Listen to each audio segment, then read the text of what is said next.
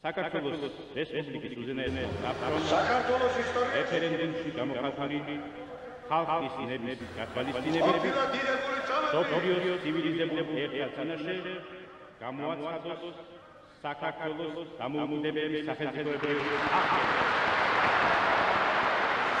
ჩვენ არ დავუშვეთ ველიკოროსული იმპერიალიზმის იმპერია მოძრაობა იმპერია უნდა დაინგროს არის ერთ-ერთი უდიდებულესი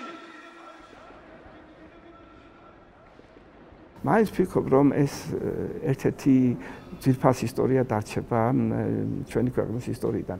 როგორც არ უნდა ითქვას, ასაკურველია თავისუფლება მხოლოდ ბრძოლაში მოიპოვება და მხოლოდ ასეთი ქაოსს ქმნის იგი და შემდეგში არის წესრიგი.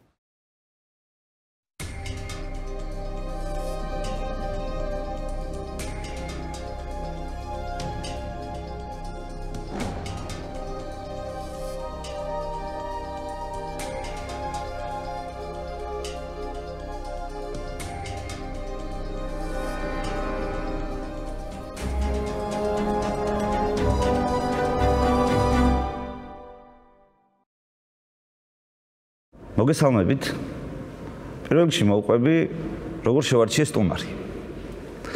აა მესმოდა საუბრები და ბევრი კრიტიკა მოვიდა ჩემს გადაცემაში იმასთან დაკავშირებით, რომ აა ბევრი ესე ეგრეთ წოდებული პუჩის მომხრე ადამიანი მოგროვდა და მათ პოზიციებს გამოთქვამდნენ. ამიტომ ხალხი ამბობდა, რომ მე ხო არ წარმოადგენდი რომელიმე ინტერესებს. და არ იყო სათანადო წარმოადგენელი ეროვნული მოძრაობის ეგრეთ წოდებული პოზიციის გამომხატველი სტუმრები. აა და პირველი ხელისუფლების ზიად გამსახურდიას. აა მიუხედავად იმისა, რომ ჩვენ ბევრი ადამიანი ყავდა ამ პოზიციის გამომხატველი, მაგრამ მაყურებელმა მაინც ასე ჩათვალა. და მე დავიწყე მოკითხვა, რომ ვინ შეიძლება იყოს ადამიანი, რომელიც ყველაზე კარგად შეძლებს ახსნას და დაიცვას ის პოზიცია, რომელიც ჰქონდა საქართველოს პირველ პრეზიდენტს, რომელიც ჰქონდა იმ პერიოდის ეროვნულ მოძრაობას და შეუძლია მაყურებლებს გააგებიოს სრული კონტექსტი ფიზიკურად იმ სიტუაციის და ახსნა აა ი ასეთი თვალით დანახული. მათ შორის ჩემმა კოლეგებმა და ბევრმა ადამიანმა მირჩია, რომ კარგი იქნებოდა მომეწვია პროფესორი ბატონი ბეჟან ჯავახია. და მოხარული ვარ, რომ დამთავრდით ამ ინტერვიუზე. მგონია, რომ ძალიან საინტერესო საუბარი გამოგვივა.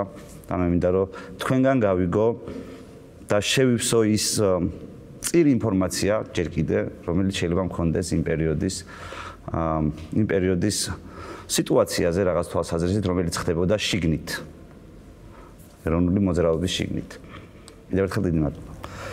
მადლობთ მოწვევისათვის და ახლა თქვენ რაც ბრძანეთ ახლა რომ გამოდიოდი იმიტომ რომ სიმართლე გითხრათ ამ ამბის გახსენება არც ისე მარტივია ჩემთვის და აქ შემოსვლაც კი რაღაცა პრობლემური არის მეტნაკლებად, იმიტომ რომ უკავშირდება ჩემი ისტორიის ცხოვრების საუკეთესო ნაწილს დღევანდელი გადასახედვა, მაგრამ დიდ ტრაგედიებთან არის და ესე არ არის ცხოვრება.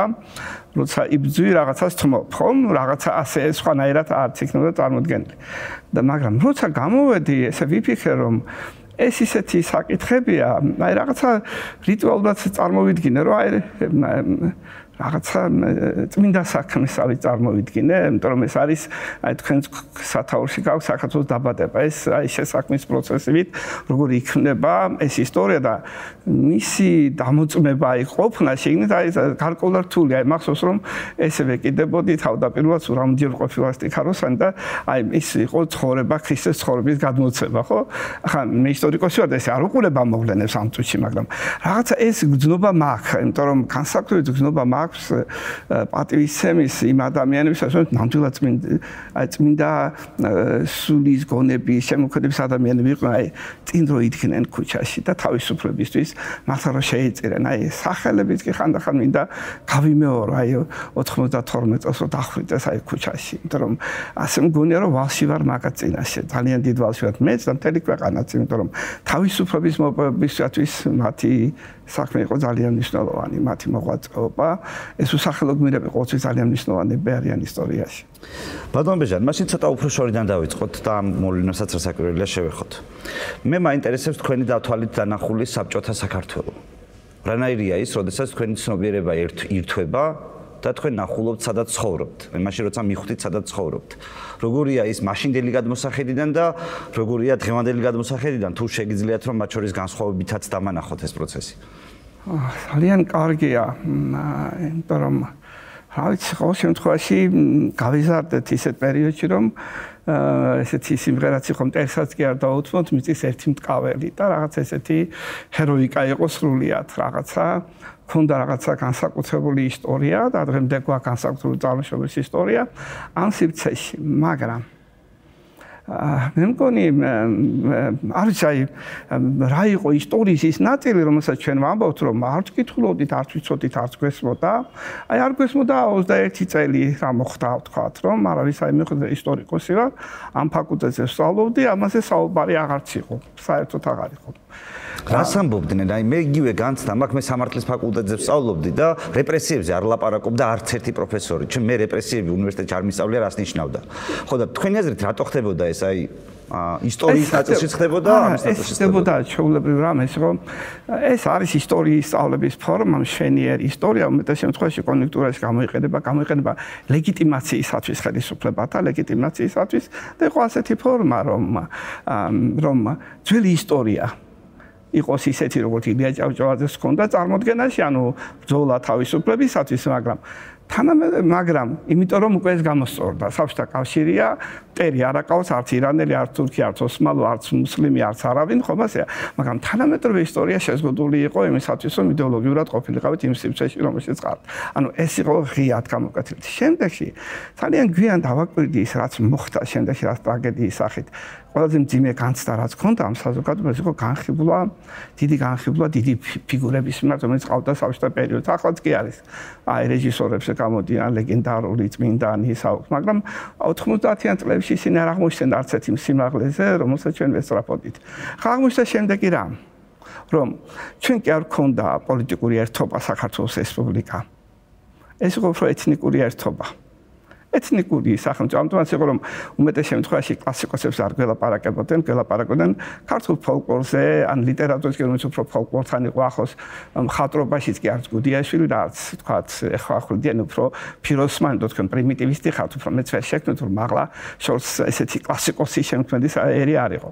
და ამას გარდა კიდე ერთი რამ იყო რომ რომ სახელმწიფო მიწოდა რომ პოლიტიკური ფიგურა, ფიგურა როგორც ასეთი, არ იყვნენ პოლიტიკური ანუ პარტიული მუშაკები, იმიტომ რომ საბჭოთა კავშირის კომპარტია იყო საქართველოს კი არ იყო და დამფიგურები არ იყო. უფრო ისინი მუშაობდნენ იმ ადამიანებზე, ინტელიგენციაზე, მსახიობებზე, ხომ? ან მწერლებზე მუშაობდნენ პრინციპში ძველი ისტორიის სპეციალისტი. ათეისტურ საზოგადოებაში ის ამ ძველი პერიოდში მუშაობდა თვითონ ამ საზოგადოებას წარმოადგენდა. აი ადამიანის გონებაში ის ვინც რაზეც მუშაობდა მას წარმოადგენდა ხო? და შემდეგში უკვე ეს გამოიყენეს ეს უთყვილია რომ ამბობენ რომ ინტელიგენციას ებრძოდა. უთყვილი არ არის ეს ინტელიგენციას ებრძოდა მაგრამ ინტელიგენციასაც ებრძოდა. ქმნიდა თავის ინტელიგენციას ხო საბჭოთა კავშირი აი ასეთ საზოგადოებაში ცხოვრე სადაც ბევრი რამ იყო ყალბი, ყალბი, ფარისეულობა, აი სრულიად წარმოუდგენელი რამ, აი არაფერი არ იყო, წმინდა თავისუფლება აღარ იყო. აი თქვენ თქვენ რა ეტაპზე მიხვდით, რომ ასეთ საზოგადოებაში ცხოვრობდით და აი როცა ხვდებით იმას საკში დანახული როგორია ეს პროცესი და მესმის რომ ისტორიკოსის თვალით დღეს გასაგებია როგორც ხედავთ. მაგრამ იმ დროს რა ჩანდა? და რა იყო ის ქვეყანა, რაც იმ დროის თვალით დანახული ჩანდა. რომელმაც სიტყვაზე თქვენ თქვენ დაინტერესება გამოიწვია ეროვნული მოძრაობით, ან ზოგადად რომელმაც ეროვნული მოძრაობის კონტექსტი შექმნა. ეს რა გარემოა? იცით რა ქმნის ამას? მე მაინც მგონია რომ ეს ის გარემო იყო, ახაც ვფიქრობ თქვენთან ერთად, რომ რა შეიძლება ყოფილიყო. აა მაინც აა მაინც იყო ლიტერატურული წრე და საზოგადოება. ეს რაღაცა თავისუფლებისათვის პოემა, ანუ ჩვენ უკვე იმ დროში ვიყავით პრინციპში, რომ უკვე დასავლეთში იყვნენ, თქვათ, ბანკები და რაღაც ეგეთი, აი, რაღაცა ჩვენს გაგვიჩნდა ყოფილიყავით განსხვავებულები და საზოგადოება არის. ანუ ეგრეთ კომკავშირლები არის, მათგან განსხვავებული ყოფილიყავით. აი, ეს იყო სხვა შორის მაგ პერიოდში ძალიან დიდი რომანტიზმი გაჩნდა, აი, ძეგლებთან ეს იარულის და თავისუფლად ღამესთების რაღაცა წვერის მოშვება განსხვავებულები ვიყავით, ჯინსებიანები ვიყავით უკვე პრინციპში, ჩემი თაობა პრინციპში ასეც იწყებს ცხოვრებას. ანუ ამან შეცვალა რომ აი რაღაცა ეთყობა თვითონ სტრუქტურაც მოირღვა. მოირყვა უკვე ჩვენ ჩვენ მე ისტორიის ფაკულტეტზე ჩავაბარდა, ყველა დიდი კონკურსი იყო იქამდე, იმიტომ რომ ყველას უნდა რაიკომის დიენობა, ეს იყო ყველაზე ესეთი ნომენკლატურული ფაკულტეტი, მაგრამ ჩემ კურსზე უკვე იყო რომ აი პარტისტორიის ჯგუფი არ შეივსო, მაინც მაინც მეცკომის ჯგუფი საერთოდ ვერ გაკეთდა. ერთი ჯგუფი შეივსო, ანუ საზოგადოება ბევრი რამით მომზადდა. ბევრი რამით მომზადდა. ლიტერატურა გამზადებდა, მაინც გონია რომ აი ძალიან ბევრი რამ გამზადებდა, რომ აი აი ჩვენ მქონდა წარმოქმნა თავისუფლების შესახებ, მაგრამ განსხვავებულად მაინც დისიდენტების აზრების სახელების გაგონება გამოიწვია. ერთხელ ახლა გამახსენდა ბატონმა გურამ რამიშვილმა თხოვა რომ გროზნოშილსა ჩახვალთო. ზიად გამსახურდიას უთხარით რომ მე ჰუმბოლტიდან ვიცოდი რა იყო ენაო. მაგრამ ქართული ენა რო სახელმწიფო იყოს ვიადმა მაგზნობინაო და მაშინ ვიძენი რასაც მე ვკითხულობდიო ეს რეალობად მიქცეო და ამიტომ მინდა რომ უთხრათ რომ მადლობაო რომ აი ეს ეს ეს რომ ისე არ მივდივარ ამ ქვეყნა რომ ეს გავიგე და ეს შევიცანი რომ ჩემი სახელმწიფო ენა მაქვს აი ფუნქციონირების თვალსაზრისით ხომ ამიტომ მაინც ვფიქრობ რომ ეს თლიანი ერთიანი პროცესი იყო აი ყველაფრით იყო ერთიანი პროცესი, იმიტომ რომ ნუ რა ნუ იწყებს რომ აი ჩვენ დროს უკვე გაჩენილიყო ჯგუფი ეკლესიაში შევდიოდით, ანუ ესე არ არის რომ აი ხარ რომ კატეგორიულად არა. რაღაცა ყველა ნაბიჯები, რაღაც მეტაკბაზები გახსნილი იყო, რაღაცას მუსიკას უსმენდით. მუსიკის მოსმენა შეგვეძლო თავისუფალის, რომელიც მაშინ არც იყო წარმოქმნა, ხო? რა უნდა გაგვეკო რა. ანუ ბევრი რამით ლიტერატურა, ბევრი რამ შემოვიდა. განათლების უკეთესი პირობები შეიქმნა, ვიდრე იყო 50-იან და 60-იან წლებში, ხო 60-იან წლები მაინც მეტი ინფორმაციული წლები იყო, ვიდრე თქვა იქამდე არსებობდა. ამან ერთიანად განაპირობა აი აი ჩემთვის კიდევ ერთი რამ იყო, აი გამსახურდიები იყო ძალიან მნიშვნელოვანი აღმოჩნდა შემდეგში აი ესეთი დამოკიდებით როგორ არის? ხატრული ლიტერატურა ერთია როცა უყურებ კონსტანტინე გამსახურდზე იქ მოხდება შესვლა მეორე. ანუ შიში ნამდვილად არსებობდა რეალობაში განხორციელება აი აი როგორც რაღაც სფეროშია რომ აი შორიდან ჩიკაგოს ხანძარი კარგია მაგრამ შინგიზო ხარცაში ნერდა ხო? მაგრამ ეს ეს ჰეროიკა ნამდვილად არსებობდა და მოხსა ბევრმა ბევრმა ბევრმა რაღაც აი იმ პერიოდის ნაწარმოებებმა. მაგრამ საკითხვა შევძელი სხვათა შორის აი რაღაცა ციგნების საკითხვა მაშინ შევძელით. არ ვიცი, ეთქობა, სადღაციდან გახაი, მაგალითად, მარკეს დე კიუსტინის ეს ციგნი რუსეთს დაწერილი, აი, რაც ვიღაცა მომიტანა შემთხვევით. არ ვიცი, არ ვიცი, არ ვიცი, არა უძალია მე ეს აღმოჩნდა. ან თქვათ, კირიონ საძაგლიშვილის საქართველოს შესახებ რა რა შეიტანა იბერიის კულტურა რაღაცობს. ანუ ეს ციგნები მიყო მისახცები და ისეთა მოგწონდა. ჩვენ თავი მოგწონდა ახლანდელისგან განსხვავებით ეს ძველი სწრაფა უფრო ძლიერი იყო რაღაც აი სიძველე უფრო პოპულარული იყო იმიტომ რომ ჩვენ აქეთ ახალი არ ქონდა ჩვენი ხო ნემონიკური ჩვენი ერთობა იყო მაინც გონია რომ ერთობის ტრენდე ეს არის წარსულის ერთიანი ისტორია. ახლა განსხვავებაც იმაში გვაქვს ისტორიას განსხვავებულად უყურებთ უმეტეს შემთხვევაში, რომ განსაკუთრებით ბოლო პერიოდს, მაგრამ ნამდვილად იყო ეს პროცესი ისტორიამ ბევრი რამ მოხდა. ახლა პირველი კლუბიც კი, რომელიც მე და ჩემო მეგობრებმა შევქმნით, ეს იყო ფარნავასი. კლუბი ფარნავასი. და რაღაც ესეთი თავდაპირველად უნდა ვთქვა, რომ მონარქისტი ვიყავი ჩემს წარმოდგენაში, იმიტომ რომ ეს იყო ეს იყო ჩემთვის აი, ცაი, მეფე არის საერთოდ შუა საუკუნეებში ერის ერთობის მარკეტი, მეფისათვის იბრძვიან. და ამიტომ პირველი ეტაპი რასაკვირველია ეს იყო ძალიან მნიშვნელოვანი ჩემთვის და ამიტომაც ასე დავიწყეთ.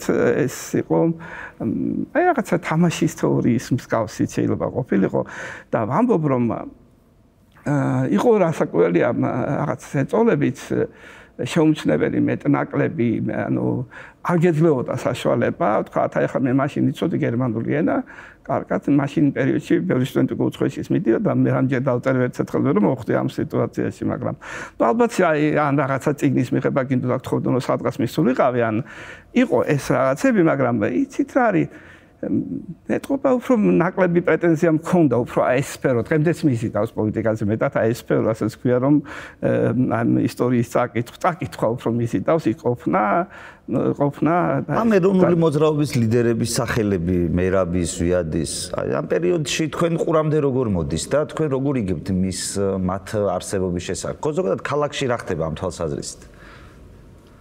ვინ არის ეს ხალხი მაშინ როდესაც 70-იანი წლები იწყება. ბოლოს. ხო, იცი, მე უნდა გითხრათ ესეთი რამ, რომ ისევ იმ ხალხისგან გავიგეთ, იცით რა, ვინც შემდეგში ძალიან დაუპირისპირდა ზვიათს და მერაბსაც, ხო? ის ხალხი თაღას პერიოდში მოსწონდათ, ის ვერ გაუძლეს. აი, ერთგან ვიღაცა წერდა, დაწერა რომ ზვიადმა მთხოვაო შეხედრაო რაღაცა ალექსანდრეს ბაღში, ვიღაც და რომ ნახო ვიღაც უშიშროების ვიღაცა იყო, აი არ მინდოდაო ზვიადი ყოფილიყო კიდე ცოცხალი, იმიტომ რომ მე შემეშინდა და წავედი. მაგრამ ეს ადამიანები რაღაცა აი რაღაცებზე გელაპარაკებოდნენ. და ბევრი ჩემი მეგობარი თუ თარგმნიდა კიდევაც ციგნებს უმზადებდნენ ამ რაღაცებისთვის, გამ სამის დატისთვის. მე შემდეგში აღმოჩნდა რომ სულაც საწინამდე ვერ გა ვერ გაუწლეს მე შეიძლება ვამბობ ხოლმე რომ ამ ადამიანმა თავენთი პატარა დანაშაული დიდი დანაშაული დაფარეს მე რომ მათთვის იმ ადამიანისთვის როგორ არის იცით რომ მიყონ განათლებული ადამიანები ნამდვილად ვერ უარყოფ კარგებიც ხომ? ვინც იმ სფეროში აღმოჩენ ან ზვიათთან დაპირისპირებაში რომ მეცნიერები მოძრაობის წევრებს გულისხმობთ 70-იან წლებში როდესაც ჯერ კიდე არ არის ეს დაპირისპირება მაგრამ აბიგებდით ინტელიგენციისგან ხალხ ჩვენ პროფესორი ან იქაც იყვნენ თავისუფალი ტიპები. ანუ თავის თავისუფალი პროფესორები და იყვნენ ისინი, ვინც ჩართულებიც იყვნენ სხვათა შორის ამ მოძრაობაში, მე გავიდნენ ამ მოძრაობიდან, ვერ გაუძლეს რაღაც ეწოლებს და ზოგი სულად მემარცხენეს აღმოჩნდა. აი შეგიძლიათ წარმოვადგინოთ ამ ხალხის, ამ შემთხვევაში ზვიადის და კოსტავას საქმიანობა და მათ დაკავებამდე, რის გამოც ამათ იჭერენ? ანუ კონკრეტულად რა საქმეა ისეთი, რასაც ესენი აკეთებენ, რის გამოც ამათ ასეთი რეპუტაცია აქვთ თელ რომ მოძრაობაში იმ წუთას, რის გამოც ესენი დასაჭერია, მე მთელი პროცესები მოდის, მაგრამ ყველა მიცის რომ ეს ორი გამოკვეთილი ლიდერი არსებობს. რა საკეთებდნენ ესენი განსხვავებულად და აი ჩვეულებრივად მაგალითად მომავალ თავში ბავშვმა რო გაიგოს. რა იყო? მაინც მე მგონია რომ მაინც მე მგონია რომ ის ხო ასეთი პროცესი რომ ადამიანებში სიში ისევ არსებობდა კიდევ და ესენი ამბობდნენ რომ ხო იცის რომ ეს სახელმწიფო არ გაპატიებს. რატომ აყენებ მე კატეგორიულ მდგომარეობაში როცა მიდიხარ იქ სადაც მე შენ ვერ დაგიცავ ხომ? ზედმეტნა ბიზებს რატო დგამ ხომ? ეს იყო ნამდვილად. იყო კიდე ერთი რამ. ძალიან ბევრ ადამიანს მე მგონია რომ ეგონა თუ კომპარტიაში შევიდო შევიდოდა აქედან შეიძლება ეზრუნა ქვეყნის ხსნისათვის ხო უნდა დაქვეყნეს და მაგრამ კომპარტიიდან შეიძლება. ეს ორი აღმოჩნდა გიჟის სულად განსხვავებული ადამიანი ეს გზა აირჩია და ამბობდნენ რომ გიჟები არიან. თო განსხვავებული განსხვავებულები არიან. ახლა მე მათთვის სხვათა შორის რატო აღმოჩენ შევარდნაძესთან?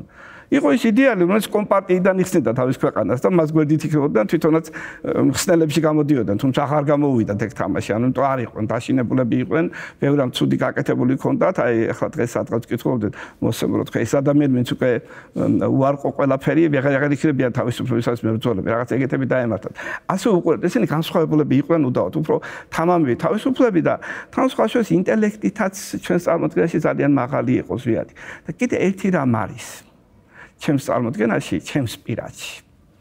კონსტანტინე გამსახურდია აი ესეთი დიდი მწერალი იყო, რომელმაც როგორ არის ის რა მთელი ეპოქა შექმნა იმის მიხედვით, რომ აი ჩვენ უკეთესი ისტორიული რომანის ავტორი კი არ არ მხოლოდ ისტორიული რომანი, აი თარაშე მხარი სხვა სახეა, ხომ? იბძვის თავისუფლებისათვის ენგურის გადალახვით არ ვიცით ისთვის, მაგრამ ეს არის თავისუფლებისათვის ბრძოლა, კონკრეტული არის ენა და რაღაცას ნეობრივი დაცვის რაღაცა ესეთი რაინდია, ხომ? და კიდევ ერთი რამ არის ახლა ძალიან ხშირად ჩვენი ანტისაბჭოთა გმირიც არის. ხო, არა, დროის გმირი არ არის საბჭოთა გმირი. ანტისაბჭოთა. ანტისაბჭოთა, ხო, დროის გმირი, ანუ ისე დრო ჭირდება ესეთი ადამიანი და ჩვენ როგორ არის ჩვენ ფიქრობთ რომ პირადი პირადი ასე კარიერა არ გვექნება თუ კი ვიქნები თავისუფალ არა აქვს არა ეს პირადი კარიერა მაგრამ არის გმირი თავისუფლების მერწოლი ეს სახე გვიჩვენა ნუ ეს ამ საზოგადოებას არ მოსწონს მაგრამ ჩვენ რო ხშირად ამ გახეხილი ჯინსებით რო დავდივართ თარაში მოგწონს პრინციპში ეგეთი შეიძლება ვიყოთ ხომ? და კიდე კიდე ერთი რამ არის იცით რა არის ეს სახეები, რომელიც შექმნა მხატვრულ ნაწარმოებში, მხატვრულ ნაწარმოებში და აი ახლა დღევანდელი ძალიან ბევრი მწერალი თავისუფალი, მის გამო ყველა ებძვის მათ არ სურთ კონსტანტინე გამსახურდიებს გავსი კლასიკოსები არსებობდნენ, თორე ეს კარგად დაკვეთა არის, რომ ჩვენ არ ყავს კლასიკოსი მწერლები, ჩვენ ყავს ფოლკლორისტები, ან რაღაცა მხატვრულ რაღაც იდეებზე აგებული, ან როგორც დღეს ვინ არის ამის დამკვეთი? დამკვეთი არის ის იმპერიალიზმის თქვენი დაპყრობა, რომ თქვენ არ ხართ თავისუფლების მომპოვებელი სახელმწიფო. თქვენ ვიღაცა უნდა გაგზავნოთ, ვიდრე და აღზავნოთ რუსებმა აიღეს ეს ფუნქცია ჩვენი აღზრდის, მაგრამ დაბალი დონის იყო. ბიზანტიაც ესეთი იყო, ჩვენს აღზრდას ცდილობდა ხალხების აღზრდელი იყო. იმპერია რატომ მოსწონთ? იმპერიის შიგნით გიცავს. აი ხალხს მოსწონთ რუსეთი, რომ შვიდათ ვიყავი, არავინ არ გვიყვყობდა, თავისუფლება ქონდა. იმპერია არის ამის ფუნქციები. და იმპერია ამას ფიქრობს შემდეგშიც, რომ ასეთი რამ მოხდეს და და ამბობენ რომ გამსახურდიას ენა არის რაღაც რაღაცა ცოტა ესეთი ღვარწმელი კი რაღაცა პათეტიკური და ასე შემდეგ ხო არა თქვენ როგორ ფიქრობთ რომ გამსახურდია გადო ხიდი აი იმ ძველ ქართულს და თანამედროვე ქართულს შორის?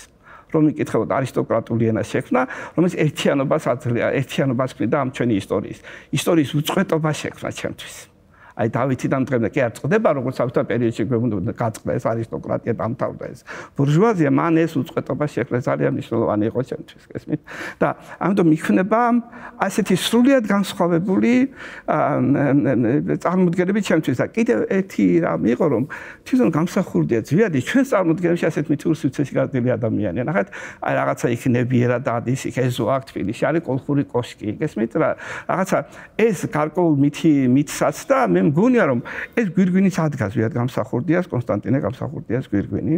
და რამაც შემდეგში კონსტანტინეს წინამდეგაცა ეს დამოკიდებულება მისი ეს ცდელობა რაღაცა ამოგდება ისტორიის იმ ნაწილიდან რომ ჩვენთვის იყო. ეს ამასაც ანუ და სხვა შეც მერაბისთვისაც ეს ძალიან ცნობილი არის რომ და იყოს ახთა ამ წრეში და ამოჯახო დარწმუნებული ვარ მთელი ეს იდეები მერაბისთვის იქნება როგორც ბიძამის ის კოსტავასი, ხომ? გიშა კოსტავასგან როგორც აი მე ხშირად გქონია დედამისთან საუბარი, აი როცა მერაბი აღარ იყოს ვიადი, აქ არ იყო მივდიოდი ხშირად სახში და 26 მაისს იყო დაბადებოდი. მე მაშინ არ ვიცოდი, გიშა მიწოდაო კარგად და გითხრაო ეს ყველაფერი, ანუ მერაბის ბიძაც ხო დისიდენტობდა და აი ეს ეს წრე შეიქრა, რაღაცა შეიკრა ეს წრე მთლიანობაში. აი ისიც არის, ჩდება მითი თავიდან ხომ ასეა? სახელმწიფოს განხორციელება ჭირდება, რეალობაა ძნელი. თორემ ხალხურ ნატალში ჩვენ თამაშობთ ყოველთვის. ჩვენ მუდმივად თამაშობთ, ყოველ მინდა მოგწოს, მაგრამ ეს მთლიანობაში ასეთი სახით შეიკრა. ასე სახით შეიკრა, იმიტომ რომ სიტყვები რაღაცა ეს სიტყვები გაძლიერებდა. იცით აი კონსტანტინე გამსახურდიასი მე ხა კონსტანტინე ორთიფანდეს ნიკოლ ორთიფანდეს მომწოდა კი სხვა მწერლებიც ანუ რაღაცეებში როგორც მწერალი რაღაცა მოკლედ შეიძლება გათქვას აზრი მაგრამ კონსტანტინე გამსახურდია ამ ეპოქაში ეს ამ ხედის როლი შეასრულა ნამდვილად. ამიტომ ეს არის კონსტანტინე გამსახურდია ერთ-ერთი მწერალი იმ დროისაც რომელსაც აქ აკადემიური ხალხი გერმანიაში მიღებული. ხო არასდროს არ ამბობენ ამის შესახებ რომ კონსტანტინე გამსახურდია იყო ფილოსოფიის დოქტორი ბერლინის უნივერსიტეტიდან. არც არასოდეს. თვითონ და თვითონაც მე მგონი აი ის როგორც ის მოიქცაოდა ერთ წელს თეთრი ცხენი ჭრილობით ბუნდება უკან სახში გაივლისა. ანუ თქვა ეს ხომ? ის ისიც ხმაც შეეძლო. ისიც მას შეეძლო და მუდმივად აი ესეთი სახე იყო. ამიტომ ეს ძალიან მნიშვნელოვანი იყო ჩემთვის და ბევრი ადამიანისთვის. ტექნიკურად რასაკეთებდა? აი თქვენ ახსენეთ სამის დატებიო და ანუ სხვადასხვა ტიპის საქმიანობები, რითაც ეს ხალხი გამოირჩეოდა ამ პროცესში. ანუ რა იყო ეს, რომ აი რო წარმომადგენლოთ, რას ნიშნავს სამის დატი და რას ნიშნავს დისიდენტის დისიდენტის ცხოვრება? სამის დისიდენტის რამდენიმე ადამიანი იყო ამ ქვეყანაში ახლა ყველა ამბობს რომ დისიდენტი იყო, ეხლა არის მერაბის და სულ რამდენიმე მისი მეგობარი. ხო, აი რას რას ნიშნავს დისიდენტობა მაშინ ესე ჩამოაყალიბა? აი ძველი მასალების გამოქვეყნება. რომელიც აი 20-იანი წლების გამოქვეყნება. გამოქვეყნება პირველი რესპუბლიკის ამბების გამოქვეყნება. ჩვენ ხო არ ვიცით ეს თავება რატო წავიდა აქედან. ეს ინერია მტრები და მომობანას რო თამაშობ ბავშვებისაც გეუბნებიან შენ ჟორდანია სპიონი ხო არ ახარ. ხომ დაახლოებით ეგეთი წარმოდგენა გვაქვს იმის იქით ისტორია. ეს გამოსცემს ამ ტექსტს მაღლაკელიძე ვთქვა, ანუ გენერლებს იხსენებს ქართულ გენერლებს ხო, რომელსაც თავისუფლების ეძოთ და ამ ტექსტს ჩვენ კითხულობთ სხვა საშუალება არ აქვს. ითარგმნება რუსულიდანაც ხო? კავშირში ხო რუსულ დისიდენტებთან და თან ისეთ ასე მარტო მე ახლა ამ წუთში ხო წარმოვადგინე ის მხარე, რომელსაც ქვია ნაციონალური ეთნიკური ნაციონალიზმი, მაგრამ მეორე მხარეც არის, ნახეთ, ზიად გამსახურდია შეუძლია რომ შექმნას რომელიღაც ესეთი როგორ შემდეგი თავით აღმაშენებლის პარტია ან რაღაცის ან იდეა ხო როგორც ხდება ხო? არა არსებს ჰელსინკის კავშირს ხო ახლა ჰელსინკის კავშირის პოპულარობის მოპოვება ამ ადამიანებში ცოტა გაუგებარია ჩვენ გვინდა თავისუფლება მაგრამ ჰელსინკის კავშირში იყო ადამიანის უფლების დაცვა ხო? პიროვნების უფლების დაცვა. აი პიროვნების უფლებიდან ზვიადი სვამს როგორც პიროვნებას აქვს უფლება ერთსა აქვს უფლება თავისუფლების პიროვნების უფლებიდან ერის უფლების დაცვამდე მოიყვანა მთელი ეს პროცესი გასაგებია ხო ამიტომ ეს პროცესი აი სხვანაირად ვითარდება, ხომ? და პარალელურად სხვათა შორის რაღაცა აი მეტი ქართული წარსულიდან აი ბევრი რამ აი მაშინ დავიწყეთ ხელახლა გააზრება ვთქვათ გალობანი სინანული სანი გააზრება ქართული დროშა გამოჩნდა შინდისფერი დროშა ნანახი არ ქონდა სამფეროვანი შინდისფერი დროშა კითხოთ ატვარიშავი ქვესკნელი ზესკნელი ვთქვათ ან მეწამულის ფერი ქრისტეს სისხლი ეგარდი გამოჩნდა უამრავი იდეები გაჩნდა ესეთ აი ის რაც მან გვიჩვენა წარსულიდან ხედავთ იქ არ ცხოვრობდით რაღაცა გაღვიძება ხდება ანუ სხვა სივრცეში იღებსენებ იმიტომ რომ საერთოდ რა არის იცით რომ ყველაზე მნიშვნელოვანი არის ისტორია რა არის? არის მეხსიერების დარაჯები არიან ისტორიკოსები. ჩვენ ხვდით მეხსიერების ადგილებს და პროექტებს ხომ? ახლა ახლა თქვენი გადაცემაც არის იმის რომ რაღაცა შემდეგში რაღაც ამ შექმნას რომ რაღაც გაიხსენოს, ანუ რაღაცა შევინახოთ ისაც არის, ხო? ამის დარაჯი ვხდებით, ხომ? აი ასეთი რამ გამოჩნდა ამ პერიოდში, ისიც აი წერილები, თუმცა ჩვენ არ ვიცნობთ. ჩვენ ვიგებთ რომ წერილი დასაჯეს აი ვიცით რომ მიხელ ჯავახიშვილს როგორ მოიგა არ ვიცით ეს არაფერი ხომ? აი ესე კი არა ესენი კარგები არა რაღაცები მოკლეს ის დახვრიტეს ის მან თავი მოიკლა ხომ? ეს ყველაფერი აში მაშინ ჩდება ღიათ რომ შეგვიძლია უკვე ვილაპარაკოთ. დარბაზებში გავდივარ და ვლაპარაკოთ უყვებით ერთმანეთს უნივერსიტეტის ბაღში ამ ამბებს ხომ? მივდივარ ხვდები და ეს შავლეგო და რაღაცა თუნდაც ეს ჩდება ეს რაღაცა ჰეროიკული სიმღერებიც ხომ რაღაც და ეს უკვე სხვა მწყობრ მდგომარეობაში აყენებს ადამიანს. ეს ეს არის ძალიან მნიშვნელოვანი ძალიან მნიშვნელოვანი არის ერთი რამ ეხლა ძალიან ხშირად ამბობენ ასეც რაღაც სულ გაუგებრობას რომ გამსახურდია რაღაცა ეთნიკური ნაციონალიზმი ჩამოაყალიბა და რაღაცა საქართველოს ქართველებისთვის აი თქვენ კიდევ გეყოლებათ ხშირად სტუმრები და თუ ვინმე გეტყვით გასვამეს თუ თქვენ ვთხოვეთ რომ სადმე დაადასტუროს აი მე დოკუმენტით მიტინგით ან სადმე თუ მსგავსი რამ თქვა არაფერს პირიქით ის ვინც აბრალებდა ეროვნულ დემოკრატიული პარტია პარტიის პროგრამაში ეწერა ჭანტურია სულ საქართველოს ქართველებისთვის იქნებოდა მხოლოდ. და წყობა იქნებოდა თეოდემოკრატია მაგრამ ეს ეს ხალხი აბრალებს და გადადის ეს მაბეზღობა თავიდან ხო? მაგრამ ის პროცესი რომ თქვენ როცა თავისუფლება გინდათ ხომ?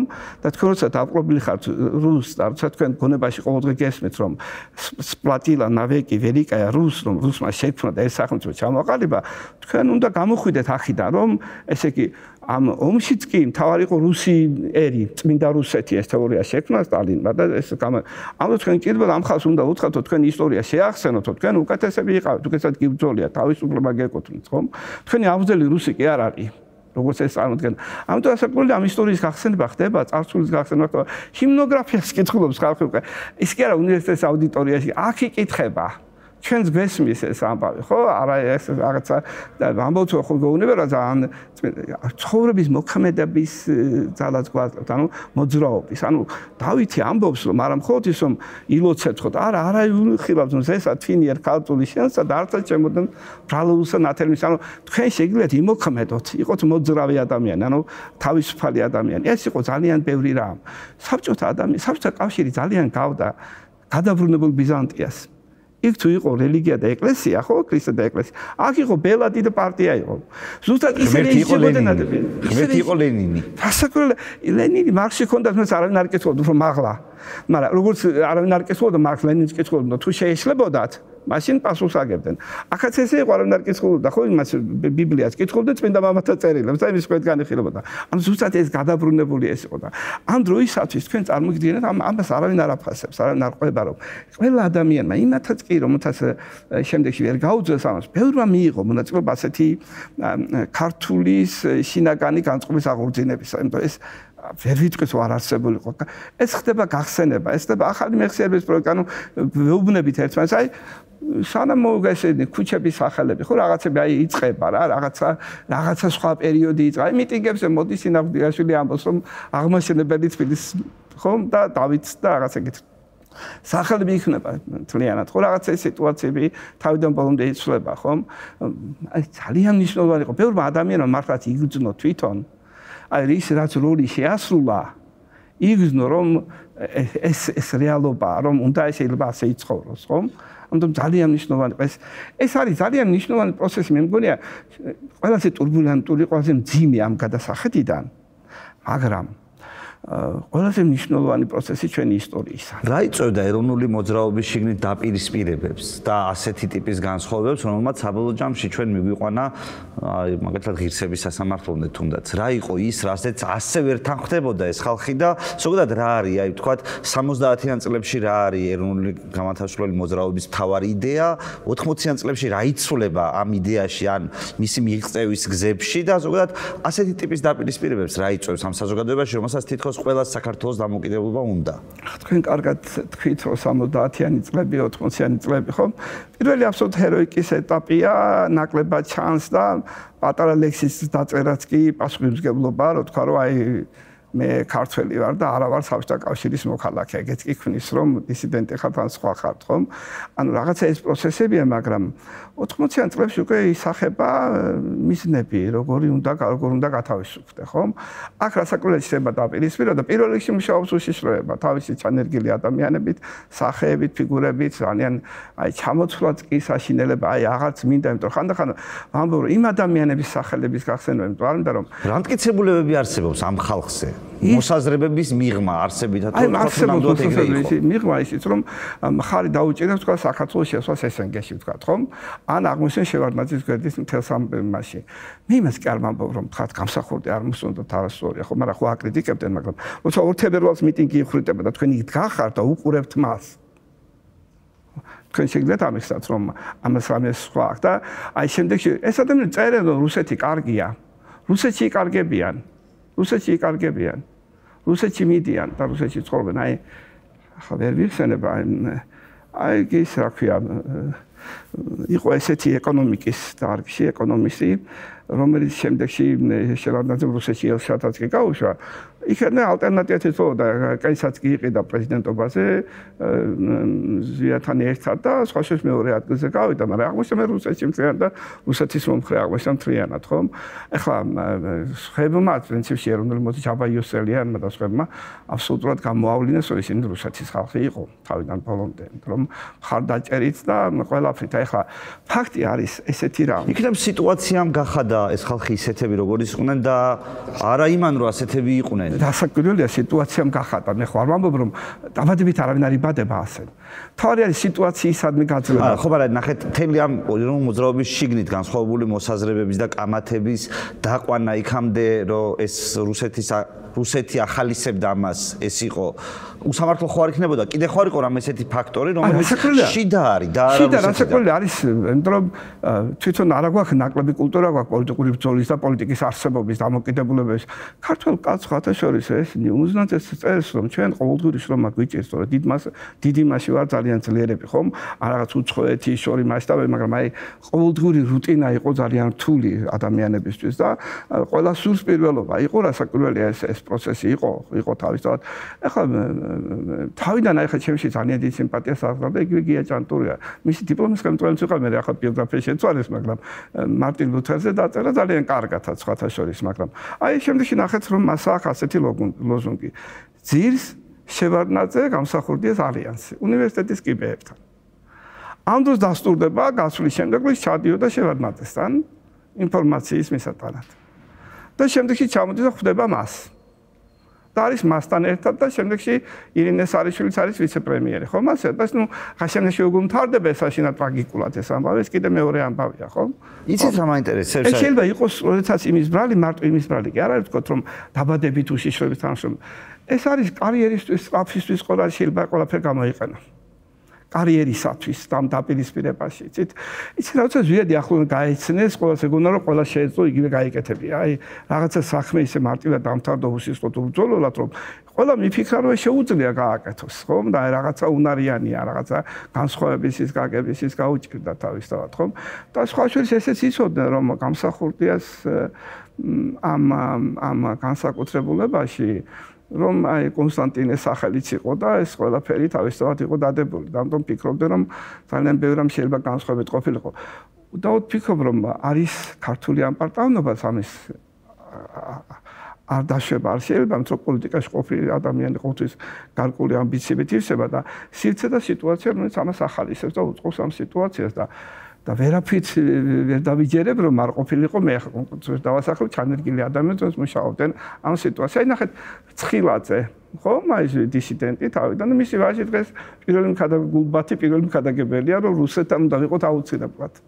ის გადის ამ მოძრაობიდან პირველი ამ სამის დატის მონაწილეა ყველაფრის შემდეგ შევარდნაძის რაღაც პოლიგრაფიის მინისტრიც კი ხდება ეს мама მე მგონი არა ცოცხალახვაშვილი კატეგორიულად არის ასეთი რამ მე არ ვამბობ კიდე ერთხელ რომ მაშინ ესენ უშიშროების მაგრამ დღეს უსული საქმე გააკეთეს ხო საერთო ჯამში არა ამაზე ალაპარაკ ეგეთი ადამიანები აღმოჩენ შეშინებულები დაპირისპირებულები და სხვა და სხვა შემდეგ ძალიან ძიმე ყოფილა განხიბლა ამ პოლიტიკე და ამ ადამიანებისათვის. ეხლა ადამიანი ისტორიას უყურებს ერთიანობაში. აი ხშირად არის ხოლმე. მაგალითად ამბობს რომ მილანოს ედიქტი კონსტანტინე დიდმა მიიღო. არა, უფრო ადრეც იყო, მაგრამ ახლა დიდი ფიგურა მას მიეწერება, ხო? და ეს ვიღაცებს წინთ ეგეთი რაღაცები, ხო?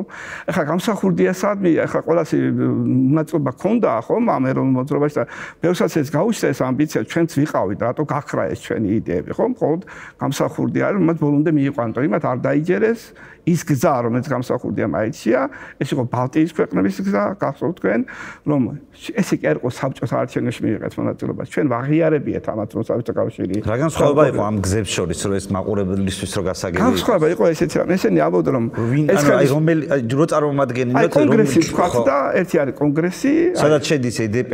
EDP სადაც შედის იდაკლი წერეთელი და სხვაებიც, ხომ? ხო, ესენი არიან. ხო, მეორე ნაწილი არის გამსახურდია და მრგვალი მაგიდა, რომელიც ამბობს რომ ჩვენ ეს ხელისუფლება უნდა ვაიძულოთ და დანიშნოს მრავალპარტიული არჩევნები. იყო სხვაში უფრო ბილი ადამიანებიც იყვნენ მრავალპარტიულ არჩევნებამდეც მარტში დანიშნულ არჩევნებში იყვნენ. მეორე მხარე რას ამბობდა? მეორე მხარე ამბობდა რომ ჩვენ ამ ხელისუფლების საბჭოთა არჩევნებში არ უნდა მიიღოს მონაწილეობა. ანუ უფრო რადიკალურია ვიდრე ზვიადის. მაგრამ ამ შემთხვევაში ჩვენი მოთხოვნა იყო შემდეგი რამ. ისინი ამბობენ კონგრესის არჩევნებს ჩავატარებთ, რომელსაც არ დანიშნავს ეს ხელისუფლება და ამ არჩევნებით გავალთ. ხომ ეს ვერ ჩაატარეს, იცი თქვენ როგორც როგორც გაქრა, მაგრამ გამოიყენეთ. რატო ვერ ჩაატარეს თქვენი აზრით? არ მივიდა ხალხი, ხალხი ჩატარებული იყო გამსახურდიას არჩევნების, რაც მივიდა ხალხი და მთელი ეს პროცესი განხორციელდა და დამოუკიდებლობა გამოცხადდა. ანუ არჩეულია პრეზიდენტი და მთელი ეს ცხოვრება შეცვლილია სიტუაცია, ხო? და ახლა მათთვის არაფერი არ დარჩა და კიდე ერთხელ ვიმეორებ გამსახურდიას ბევრად მეტი რეიტინგი ქონდა თავისი დისიდენტური ბიოგრაფიის ცხოვრებით და ყველაფრით, ხო? ინტელექტით ყველაფრით ქონდა მეტი ბიოგრაფია ეს. განსაცვლიდა ამას ყველაფერს, არა? და ესე იგი ჩვენ სხვათა შორის სანამ ეს მოხდებოდა, გამსახურდია მიცოდა რომ ამის აყუდოს მიიღებდა, ამ ხელისუფლებას აღიარებია ყოფილს რომ მოხდა საქართველოს ანექსია და ოკუპაცია და ეს ყველაფერი აღიარა ამ პარლამენტს, შემდეგში არჩევნები პარლამენტმა კი არ დანიშნა, შეიქმნა პარტიული საბჭო სხვა სხვა პარტიის წარმომადგენლებთან ჟორდანია იყო მგონი თავმჯდომარე და ამ ცესკომ დანიშნა არჩევნები. ანუ ამ სიტუაციაში ეს გავთხილების სიტუაცია შესრულებული იყო ოღონდ აი ეს როგორც წარმოედგინათ, თქვათ, რომ აი ესეთი დამხობი და შემდეგში ან დისიდენტ ეს არ იყო. აი როგორც ბალტიის პირეთ მომს გავსიქ და გავიარე ჩვენ. კიდე ერთხელ ვამბობ, რომ ამას უარ ყოფენ ხოლმე, რომ ჩვენ ანექსია და ოკუპაცია მათ აღიარებინეთ. შემდეგ აი ხარ რომ ამბობენ ეს მიტინგები და დაღუპეს. ახლა მიტინგების საფუძველზე ამის აღიარება და აი ხა მახსოვს რომ აი ხა ესეთი იყო 200 და 201 ყვირი. ეს იყო რა პარლამენტის რაოდენობის შეცვლა 500 კაცამდე ყავდათ და რაღაც ეგეთები ხო? და ხალხი ესე იგი ძალიან ისეთი იყო რა ძლიერი იყო ზიადის გავლენა უდაოცი იყო რასაც ესენი შეებძონენ. ანუ ეს ორი ფრთა იყო და გამარჯვა ამ თან დღემდე ხო ამ სიტუაციით მივიდეთ ხომ? ჩვენ ხო ვარ პირველი მოწვევის პარლამენტი. დღემდე კონსტიტუციაში გვიწერია ჩვენ რომ საქართველოს დამოუკიდებელი გახდა 31 მარტის რეფერენდუმის და 9 აპრილის გამოცხადებული დამოუკიდებელი როგორც დღეს თუმცა მიუხედავად ამისა ხელისუფლება არ აღნიშნავს 9 აპრილს როგორც დამოუკიდებლობის დღეს დამოუკიდებლობის დღეს. და ყველაზე სასაცილო სასაცილო არის ამ შემთხვევაში ეკლესიის პოზიცია. ეკლესიაც ამბობენ რომ გლოვის დღე არისო ხომ? 9 აპრილი ხალხი დაიყო მაპატიეს მაგრამ თქვენ ხო იცით რომ ყველა წმინდანის დღე არის მისი გარდაცვალების დღე ზეიმობთ ღვთისმშობლის მიძინებას. ანუ მაშინ იბადება. და ზუსტად მას ეს სცენა თქვა პირდაპირ მათი სულების ეციდან დაგხარე და მათ მოიპოვეს ეს გამარჯვება. ეხლა ჩვენი გამარჯვება იყო დოლის მოპოვებული გამარჯვება. თავისუფლების გამარჯვება იყო. ჩვენ ხო საბჭოთა კავშირის მემკვიდრეები არა ვართ. ხო? თუმცა ამის მიუხედავად მე მესმის ამ შემთხვევაში საპატრიარქოს არგუმენტი. რატო? იმიტომ რომ ანუ აი საკმაოდ რთული ალბათ ამ გადმოსახედიდან და იმ ინფორმაციით, რამის თქმა, რაც მე გამაჩნია ამ საქმესთან დაკავშირებით, ამიტომ სულ ვიყავებ ხოლმე თავს ამ მოსაზრების გამოთქვისგან, მაგრამ მაინც მგონია, რომ 26 მაისი უნდა ყოფილიყო ჩვენი ზეიმის დღე საქართველოს დამოუკიდებლობის, იმიტომ რომ ასე იყო მანამდე და ეს იყო მერავ კოსტავას დაბადების დღეც.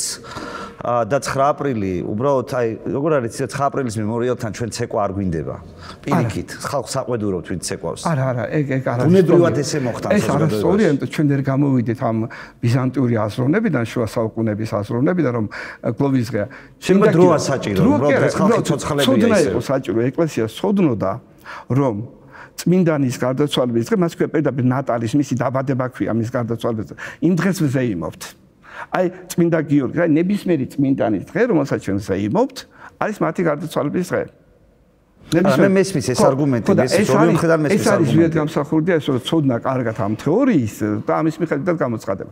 მეორე, მათ არ სულდათ, არ ეგ არ იყო. პატრიარქი დამოუკიდებლობის ხელმოწერის დღეს არ მოსულა პარლამენტის შენობაში. არ მოსულა. არ მოსულა, მარტო ეს არ იყო. 9 აპრილს ის ჩვენთან არ მოსულა. დაპატიჟებული იყო და მან თქვა, რომ მიდის შემღვიმის მონასტერში, ისე აქვია თიშობა, ესე იგი საქართველოს თიშობლის ხატის ზეიმია და იქ უნდა დაესწრო. წარმოსულა, ასე რომ ამიტომ მათთვის უკეთესია მათ ეს 9 აპრილი გამსახურდია სახსენებთ, ამიტომ არ სტრუქტურა. რასაკვირველია, ჩვენ დროს დამოუკიდებლობის თავისუფლების დღეს 26 მაისი იყო გამოცხადებული. 26 მაისი გამოცხადდა როგორც დამოუკიდებლობის თავისუფლების აღნიშვნის დღე, ზოგადად გამსახურდიას დროს. ანუ ჩვენ მივიღეთ ეს კანონში. მაგრამ 9 აპრილი არის ახლა სულ სასაცილოა მე ახლა რომ ამოვიღო და გიჩვენო თქვენ რომ აი სამგზავრო ბარათი როა სადაც ამათ გამოსეს 100 წლის თავთან დაკავშირებით ხომ? და იმისი საქართველოს დამოუკიდებლობის დამოუკიდებლობის 100 წლის თავი არ ყოფილა იმიტომ 70 წელი ჩვენ ვიყავით კომუნისტების მიერ ანექსირებული ხომ?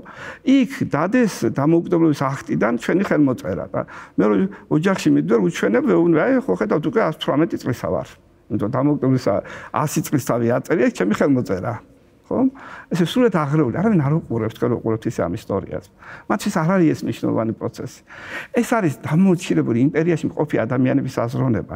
იმპერიაში მცხოვრები ადამიანები არასდროს არ ფიქრობენ, რა ხდება მისი მისი ძე. ა ბატონო ჟან, აი უკან რო დავბრუნდეთ ცოტა რო ჩვენი მაყურებელიც არ დაგვეკარგოს დროში და იმაში. აი იცით რა რა მაინტერესებს? აი მაგალითისთვის მე მაქვს ნანახი ღირსების სასამართლო. იქ არის ზვიად გამსახურდია და აი ეს მისი მერე შემდეგში მისი მოწინააღმდეგეები ჭანტურიაც მაგალითად არის მის მხარ არის რაღაც თვალსაზრისით.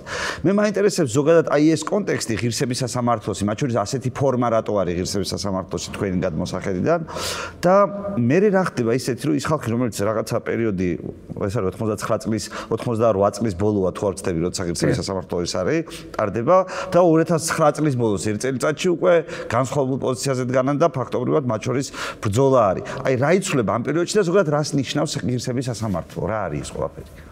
ხო ეგ ღირსების სასამართლო. შემთხვევას იმათ ეკითხა გარედან შინ პროცესში მე არ ყოფილა და გარკვეულად გარედან მაყურებელი ვიყავი ამ ამბის და შემდეგში უბრალოდ ერთი აზრი დამჩა რამაც უფრო მშვიდად შევხედე ახლა გადაიღეს და გადასცეს.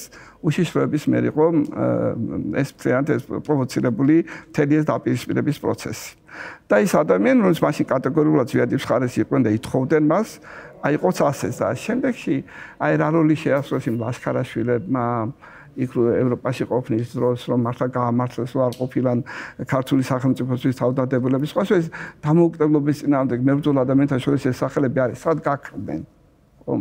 რაღაცა არ ვიცი იცით ჩემთვის ჩემთვის გულწრფელად გითხრათ უმძიმესი არის რომ ვილაპარაკო ამ მოძრაობის დროს არსებულ ადამიანებს რომ ისინი არაჭეს ჩანერგილი იყვნენ ესე შემოვიდნენ ამ მოძრაობაში შეიძლება უბრალოდ შეცდომებს უშვებდნენ შეცდომებს უშვებდნენ ამ შეცდომების დაშვების შემდეგ შეიძლება განხილვა გამოიწვიოს და გამოგიყონოს ვიღაცა სხვა ამაზე მაგ ლაპარაკის დროს ეგეც მძიმეა.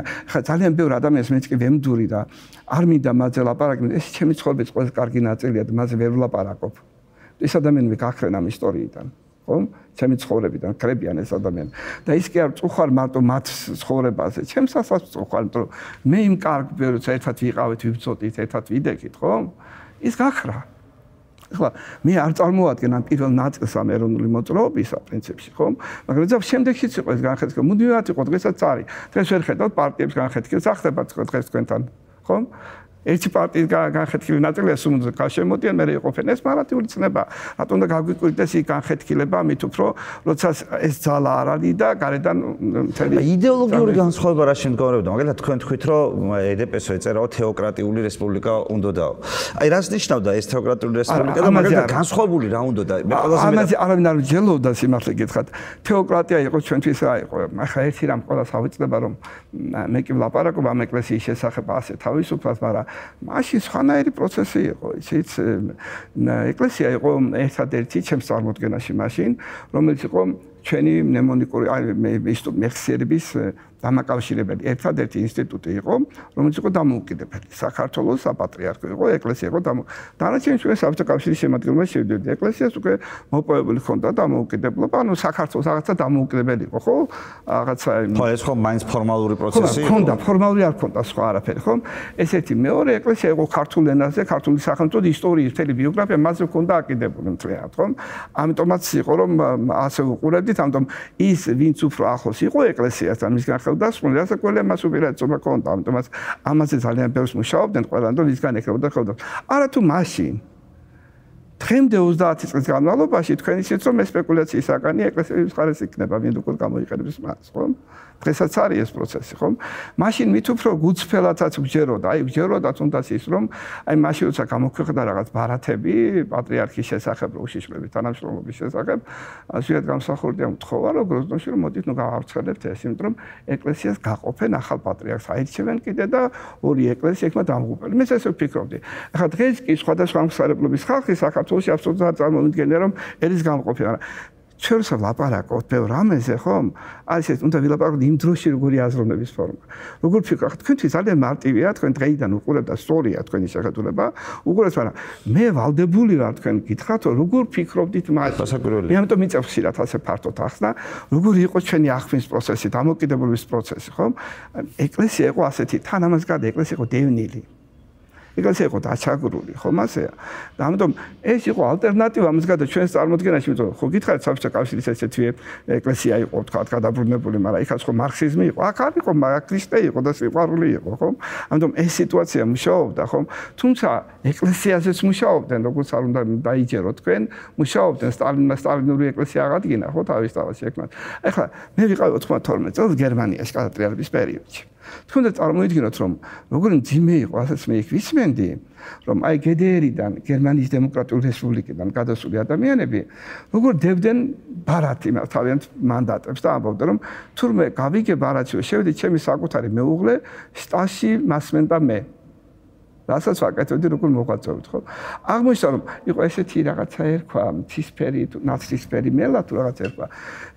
გერმანიის დემოკრატიული იქ სადაც იყო პროტესტანტული ეკლესია და ეკლესიას თავი არ ქონდა გარეთ ხო? ანუ კათოლიკური ეკლესიაში ესე არის, ხო? იმიტომ რომ კათოლიკური ეკლესიის თავი იყო გარეთ და პოლონეთში დიდრული შეასრულა, ხო? კათოლიკურ მოძრაობა.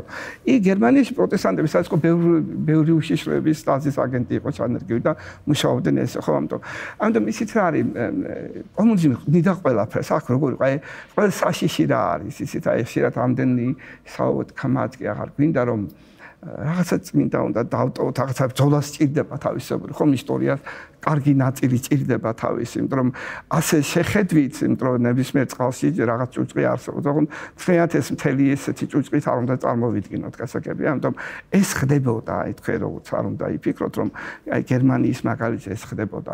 ყველა ქვეყნის ვის თავისუფლებას მოიპოვებს, აი ვინმე თუ აინტერესებს, რომ რატო იყო ჩვენთან ასეთი ნაციონალიზმი, აი გერმანია როცა ხდება ერთიანდება, ინგლისი ვინც გიტყვი იწება გერმანული მარშების იყო ეს.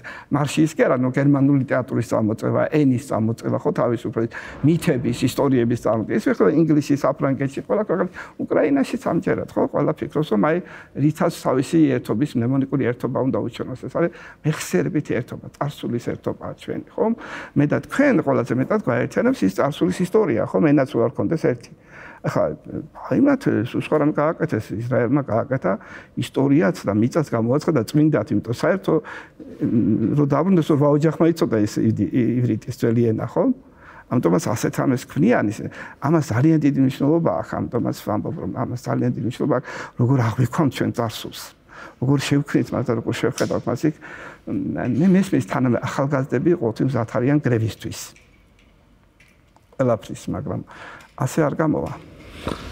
არა, ну, იცით რა, მაგ გრევაზე მე მგონი, ანუ რაღაცის გრევაზე ეროვნული მოძრაობის იდეაც იდგა, ხო, საბჭოთა კავშირი უნდა დაიშალოს, ხო?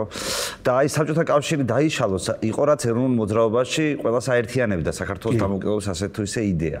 მაგრამ რა იყო ის რაც ზვიად გამსახურდიას უნდა და როგორი დამოუკიდებელი საქართველო უნდა და მას რა რა დასკვნების გამოტანა შეგვიძლია მისი შემოქმედებიდან? თუ დავაკვირდებით, რომ მას რო გამოსვლოდა, ხელი არ შეეშალათ, როგორი საქართველო უნდა? ვისი ჯეროდა ესე რომ ის რაც მას ჯეროდა დაახლოებით იმ პერიოდში, იმიტომ ვამბობ, რომ მეც ასე ვფიქრობდი, მაგრამ დღეს ბევრი რამ შემიცვალა თქვა თვითონ მე დამოკიდებულებაში და ну ზვიაჯეროთ და დამოკიდებელი საქართველოსი რაღაცა განსაკუთრებული აი მისი აი ვებხისტყაოსის სახის მეტყველება აი ტექსტები რო ნახოთ აი აი პირველი ადამიანია ჩემთვის რომელსაც მიაქცია ყურადღება ასეთ რამეს რომ აი როგორ არის ესე იგი ფრანგული, ანუ შუა საუკუნის მედიტერანული მედიტერანული ანტიკურია, შემდეგი კულტურა, აი სადაც პროვანსული, სადაც სხვადასხვა კულტურები ერთად და ქართული და აი გელაძე როცა წერდა ამ იდეებს, წერდა რაღაცა ევროპულ ლიტერატურა ანუ იმისთვის. თუმცა კატეგორიული იყო როგორც მართლმადიდებლობის მიმართ, ანუ იყო მე ვფიქრობ რომ ის ალბათ სახელმწიფო რელიგიად გამოაცხადებდა ქრისტიანობას მართლმადიდებლობას. ესე არის სხვა შორის ბევრი ევროპულ ქვეყნებში გარდა საფრანგეთის რაც ყველაზე მეტ დაპირისპირება. ოღონ გაცნია ამაში რას მივიღებთ ხომ ასე რას წარმოვიდგენთ სახელმწიფო რელიგიაში. ნამდვილად ასე იქნებოდა. მისთვის იყო ძალიან მის არ ვიცით მისი ნაციონალიზმი რომელიც მას აქვს ხელისუფლების მოსვლამდე არის სულად განსხვავებული ხელისუფლების მოსვლის შემდეგ. რა იცვლება ხელისუფლების მოსვლის შემდეგ? ხელისუფლების შემდეგ თელი ნაციონალიზმი არის სახელმწიფო ნაციონალიზმი. არ არის ეთნიკური ნაციონალიზმი. აი იცით რა მანამდე ეთნიკურია? მომზადება ხდება პროცესის ბევრი არის ხო? აი ქართული სულის და აი მთელი ამ ლიტერატურაში ყველაფერში ქართული კულტურის და ქართულთა განსაკუთრებულობის ამ როლისათვის ძალიან ბევრია. აი შემდეგში არის აბსოლუტურად სახელმწიფო ნაციონალიზმი. აი და სხვათა შორის ხო იყო ანტისაბჭოთა ადამიანი, ანტიკომუნისტი. ეხლა თქვენ პარლამენტის წევრები ძანტებით, ხო? თქვენთან ნაცეთი კომიტეტის ავიტომარი არ არის ოპოზიციიდან, ხომ ასეა? ჩვენთვის იყო. კომპარტიიდან ბაკურგულუა. კომიტეტის თავმჯდომარე მინისტრი კომპარტიას რაღაც მაღალი ჩინური კაი ჭითანავა ხო? ყოფილი პროკურორის დაუწყო მაშინ მაგათი გაშვება პარლამენტიდან რატო გახდა საჭირო კომუნისტების? არაფერი გახდა იმიტომ რომ როცა მოსკოვში მოხდა გადატრიალება პუჩი ეგრეთ წოდებული პუჩი თუ რაღაც. კომპარტია მოიჭრა კრება მხარი დაუჭერა მას სასამართლო როგორ როგორ კარგი მოსკოვში მოხდა გადატრიალება ეგრეთ წოდებული პუჩი აგვისტოს პუჩი ეს იანაევი და რაღაცები რო იყო საქართველოს კომპარტიამ, რომელდაც იყო ეს პარლამენტში, მოიწვია კრება, ხარი დაუჭირა მოსკოვის პუჩს და საბჭოთა კავშირის აღდგენას. და შემდეგში სასამართლოს გადაეცა მათი საქმე, სასამართლომ გააუქმა კომპარტია და გააუქმებული კომპარტიის წევრები გავიდნენ პარლამენტიდან. გასაგებია სულად მარტივი ამბავი. დღევანდელი გადმოსახედიდან როგორ ფიქრობთ, სწორი იყო ეს გადაწყვეტილება? არ ვიცი, იცით რა არის? დღევანდელი გადასახედიდან სწორი იქნებოდა თუ ჩვენ ვიქნებით ადამიანი უსაც მიგვაშია დურა ლექსეთ ლექს კანონი მაგრამ ჩვენ ხო სულ რაღაცა ამაზე გვაქვს ლაპარაკი რა კარგო დაუთმეთ რა კარგო დაუთმო მიხელ სააკაშვილმა ეს აქვია ხაინდრავას გოგას და დანიშნა მინისტრად და მივიღეთ რაც იმიტომ რომ არ არ გაითვალისწინა აქ თავრობის სახელმწიფო იარაღით გობი ეს ადამიანი რომ არ შეიძლება მინისტრად დანიშნა ხომ კარგი იყო ხომ ასეა რომ აპატია და იმას მაგრამ რა მივიღეთ ბოლოს ხომ ამდენ იქ კომპარტიიდან სხვა ერთი ადამიანი არის მაშინ თავმჯდომარე იყო პარტიის, რომელსაც პარლამენტის წევრი იყო და დამოუკიდებლობის აქცია ხელი არ აქვს მოწერილი. ესმით, მაგრამ თქვენ ხო არ გაგიგიათ ამაზე არავის არ ულაპარაკე, ამის გამო არ დაუჟიათ. ხო? მაგრამ კომპარტია რომელიც საბჭოთა კავშირს უჭერს ხალხს ის უნდა იყოს. სხვა შორის თქვენ ასეთი დაცმა რო არ გაეკეთებია. ჩვენ კი ჩვენ კი მე არ მგონია რომ ჩვენ არა ვართ დამარცხებულები, ეგ მინდა კითხავ პირველ რიგში რომ ვინმე თუ გონია დამარცხებულები, რა დექტუილია. ჩვენ ვართ გამარჯვებულები, იმიტომ ჩვენ გვინდოდა დამოუკიდებელი საქართველოს არსებობს. მაგრამ აი ვინც მაგის იქით რა გინდოდათ? დამოუკიდებელი საქართველოს დამოუკიდებელი საქართველოს გინდოდა მაგრამ როგორ უნდა ყოფილიყო ეს? მაღალი ქართული კულტურის როგორც არის დემოკრატიული სახელმწიფო ხო რა მაგალითად როგორი ეკონომიკის როგორი სასამართლოთი ამაზე ვინ ფიქრობდა ვინ ფიქრობდა თქვენ ამიტომ ძალიან კარგი იქნება რომ შეხვიდეთ და ნახოთ რამდენი ახალი კანონებია მიღებული. ეკონომიკის პრივატიზაცია უბრალოდ ეს ძალიან მარტივია ეს რუსული ან პროპაგანდის საშუალო მუშაობა რომ ისინი ხო ქუჩიდან მოვიდნენ და არ იყვნენ მზად ამისათვის და არაფერი შეიძლება ყველა კანონი იყო პრივატიზაციის, ყველაფერი და გულიათი იყო ესეთი მაღაზია, მისი პრივატიზაციაც კი გაკეთდა. უბრალოდ პრივატიზაციის კანონი როგორც კი მივიღეთ, მაშინ ამ ხალხის დირექტორებმა მოინდომეს ეს პრივატიზაცია თავენთ გავყარიყო. და ამ მომში ჩაერთენ, ისე წახალისებული აღვიშენ რომ იმ რუსული ჯართან ერთად ჩვენ წინამდე გებრძოლათ, ხო?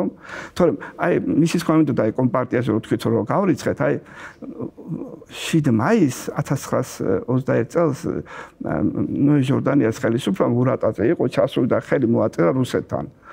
შეთანხმებას რომ ცნობს საქართველოს. მაგრამ იქ იყო დათმობა რომ აი კომუნისტებს უნდა ქონოდა თავისუფალი მოღვაწეობის საშუალება. რა შეცდომა იყო, ხო? რომ მათ აჯანყებები მოაწყოს. ამიტომ ჩვენ კი არა ძალიან, მაგრამ პარლამენტიდან წავიდნენ, იმიტომ რომ მათ ასეთი რამ ჩაიდნენ. მესმის, მაგრამ ერთი წუთის პარლამენტიდან თვითონ წავიდნენ თუ თქვენ გაუშვით? ჩვენ გაუშვით, იმიტომ რომ როგორც გაუქ პარტია რომელიც გაუქმა სასამართლომ ეს გაუშვა პარლამენტმა თავისთავად მიიღო ამას მისცა ხმა. ახლა მაპატიეთ კიდე ერთხელ გავემეორებ, იქ იყო ძალიან კარგი ადამიანები, ინტელექტუალები, ძალიან მაღალი რანგის. მაგრამ იმ ადამიანებს მაშინ თუ იფიქრეს, უცა საქართველოს დამოუკიდებლობის საპირისპიროდ მოდიოდნენ ამ პარლამენტში. ჩვენ უმრავლესობა არ მიგვეღო. ისინი ხო დატყვევდნენ საბჭოთა კავშირში საქართველოს. ისინი ხო ჩვენი ალტერნატივა იყვნენ იმ არჩევნების დროს. მოდით ესეც ვთქვათ, არა? ძალიან ძნელია, იცით, თქვენ როგორ ფიქრობთ, ჩემი მეგობრები იყვნენ ძალიან ბევრი, ამას დავწერე ერთ-ერთ მეგობარს, რომ რომ გარდაიცვალა, ხარ მეთქი და მისაყვედურეს როგორ, არა? დასანანი ადამიანი, ნებისმიერ დასანანი ეს ადამიანი თუ უნდა ქრისტიანი ხარ, მოსწორს ამ გზიდან გეკარგება. ამ დიდი მოძრაობიდან გეკარგება. მაგრამ ისინი ხო იყვნენ იმ სიაში, ჩაეწერენ გუმბარიძესთან. ხო ჩაეწერენ იმ სიაში. კომპარტიის სიაში ჩვენს ალტერნატივად.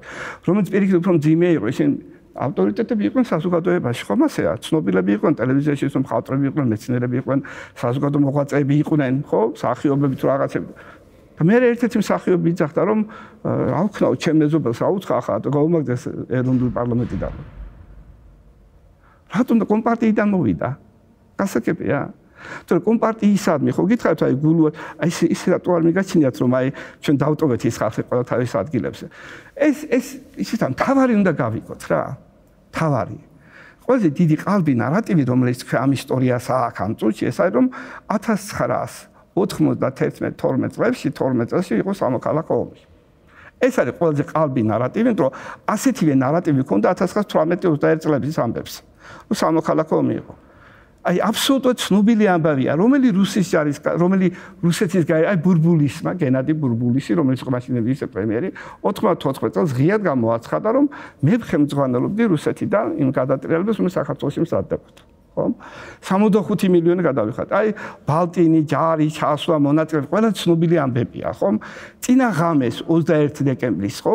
21-დან 22-ში ღამე კიტოვარმა გააერთენა პეპაევის კაბინეტში, რომელიც იყო ამიერკავკასიის საკო, საკო იყო ეგრეთწოდებული, იმის ის იმის უფროსის მოადგილე იყო ნუ იმის ამ ამის უფროსის იმის კაბინეტში. 21-ში 21 დეკემბერს 22-ში დაიწყო აქ სროლა. 21 დეკემბერს ალმა-ათაში იყო შეკრება რომ SNG შექმნილიყო. სადაც საქართველოს არ შევიდა. უარი თქვა SNG-ში შესვლას, ანუ DST ქვია მას ქართულ დამოუკიდებელ სახელმწიფოთა ერთობა თუ რაღაც ხო? არ შევიდა. თორსამი ნემო ბურჭულაძე და ნემო ბურჭულაძე ესწრებოდა და გურამაფსანძე. თუ ბესო გურამაფსანძე ბესო არისო. და იქვე უთხრეს, რომ ჩამოვიდნენ იქვე უთხრა ელცინმა.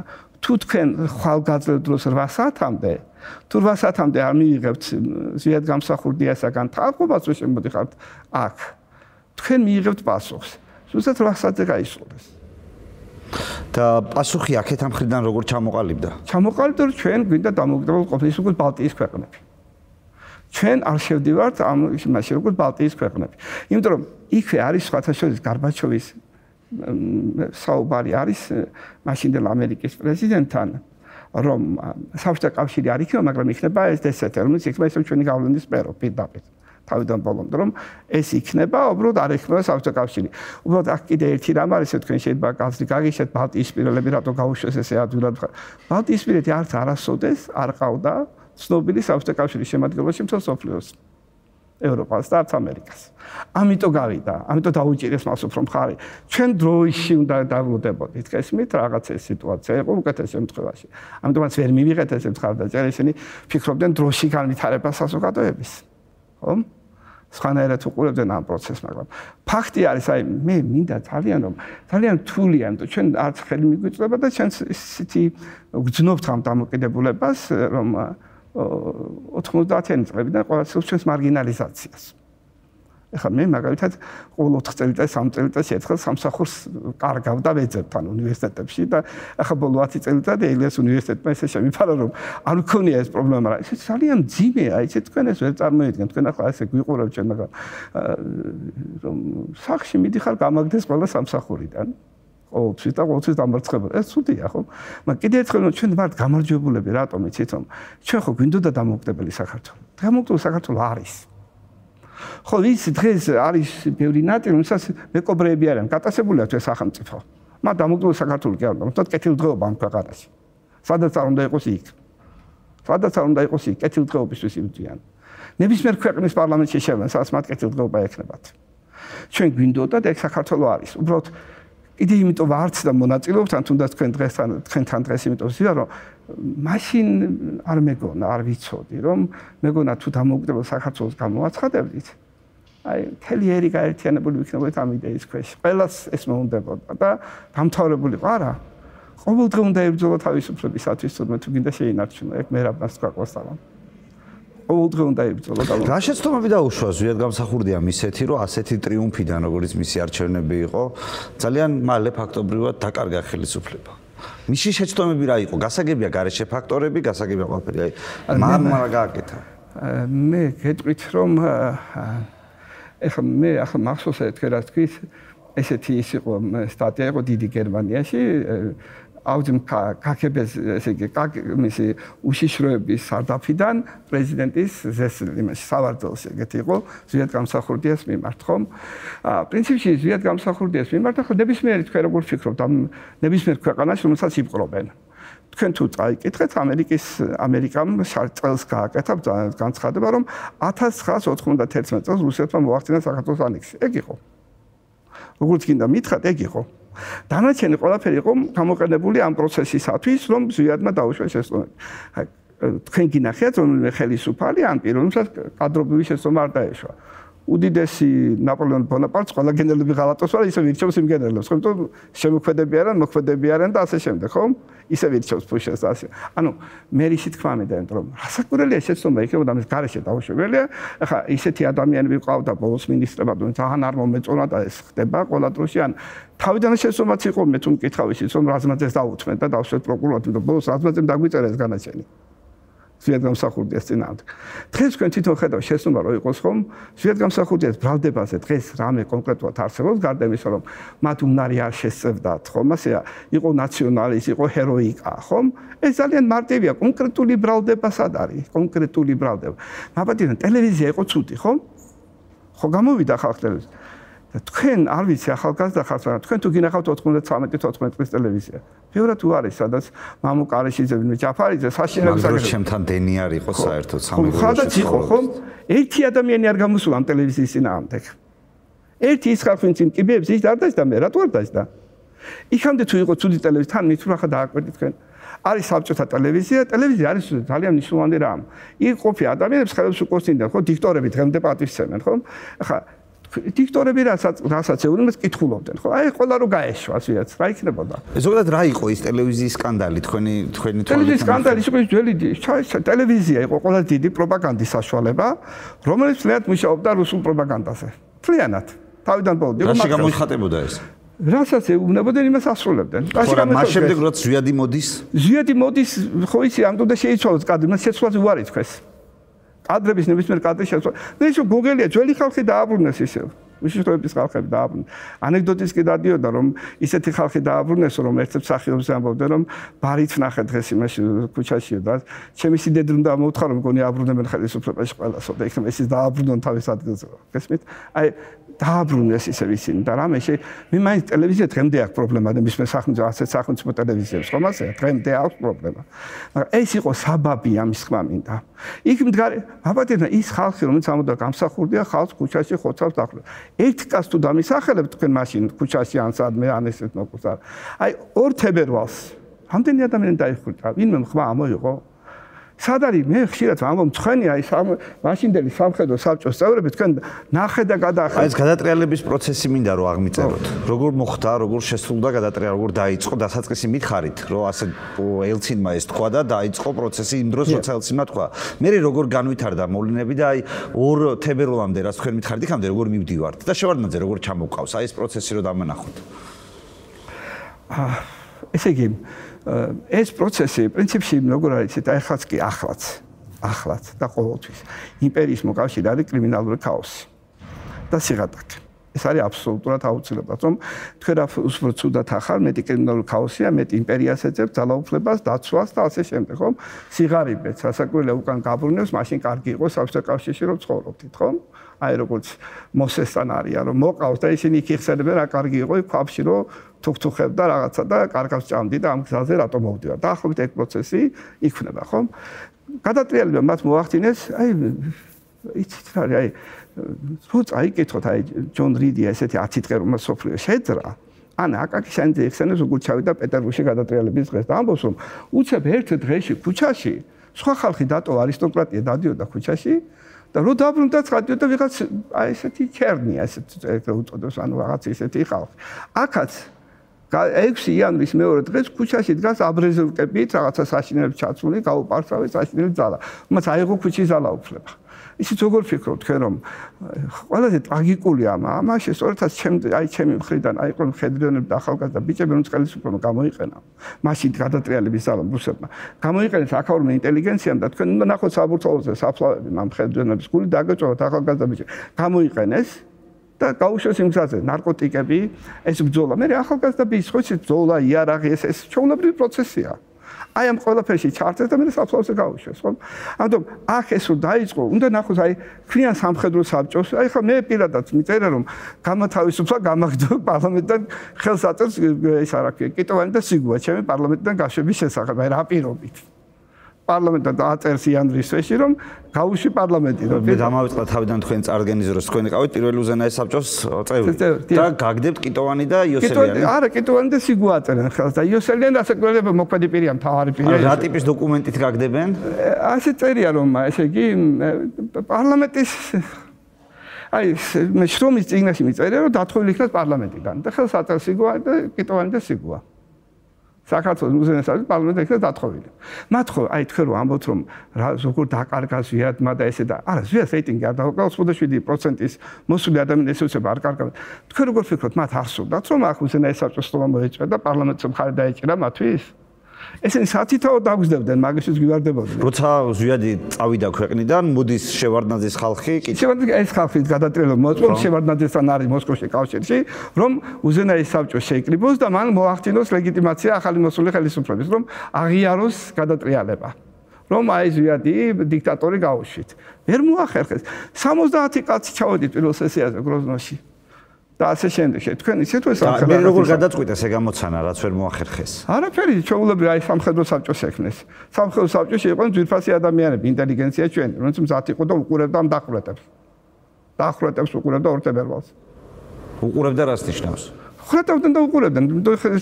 მე გერმანიაში ნახე ესეთი ფილმი იყო გეორგენ აუდენპურფერფას, ანუ დენთის კაცზე საქართველოს. საოცარი სანახაობა, ხახ აი ეს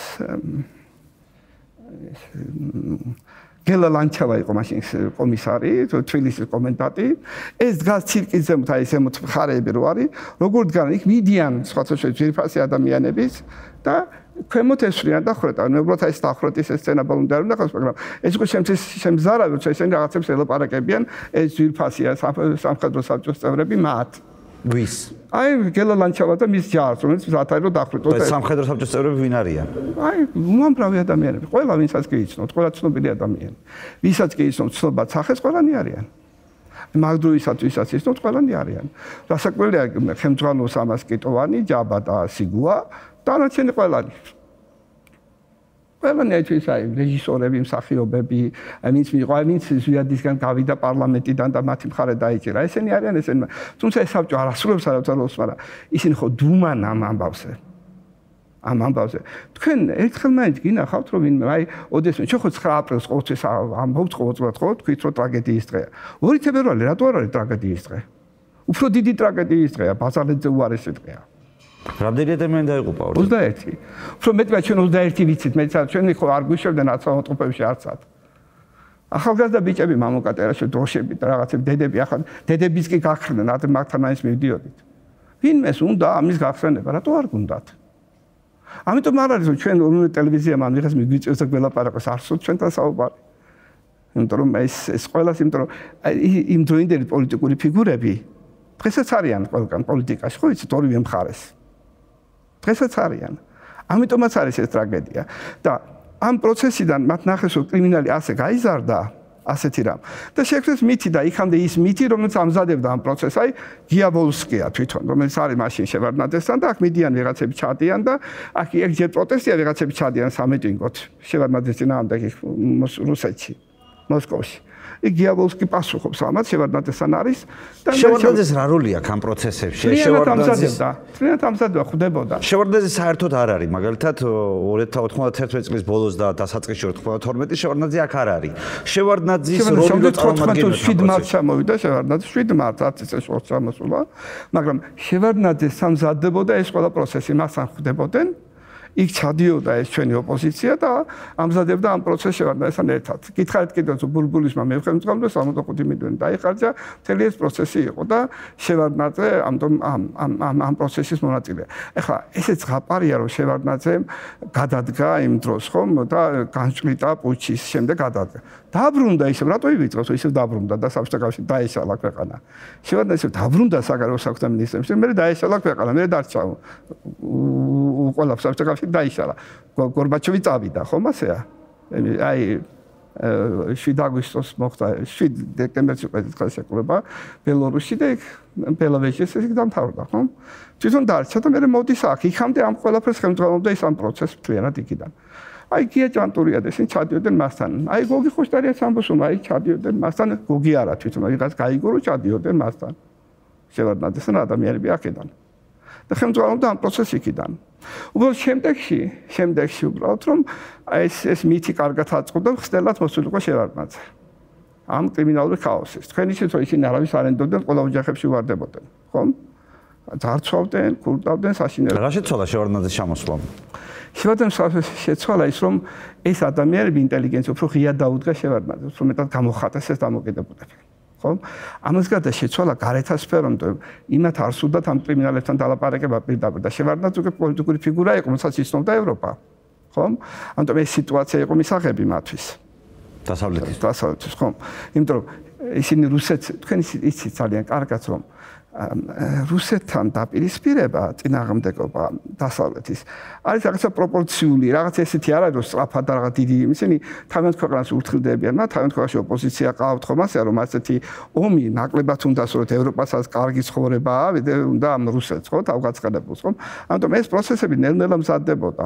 აი მაგალითად, როცა გამსახურდი ამბობს და ხვდება სხვათა შორის აი სანამ დამოუკიდებლობას გამოაცხადებდი ბეიკერს მოსკოვში ისე უნება რომ ახლა არ გინდათო დამოუკიდებლობაო.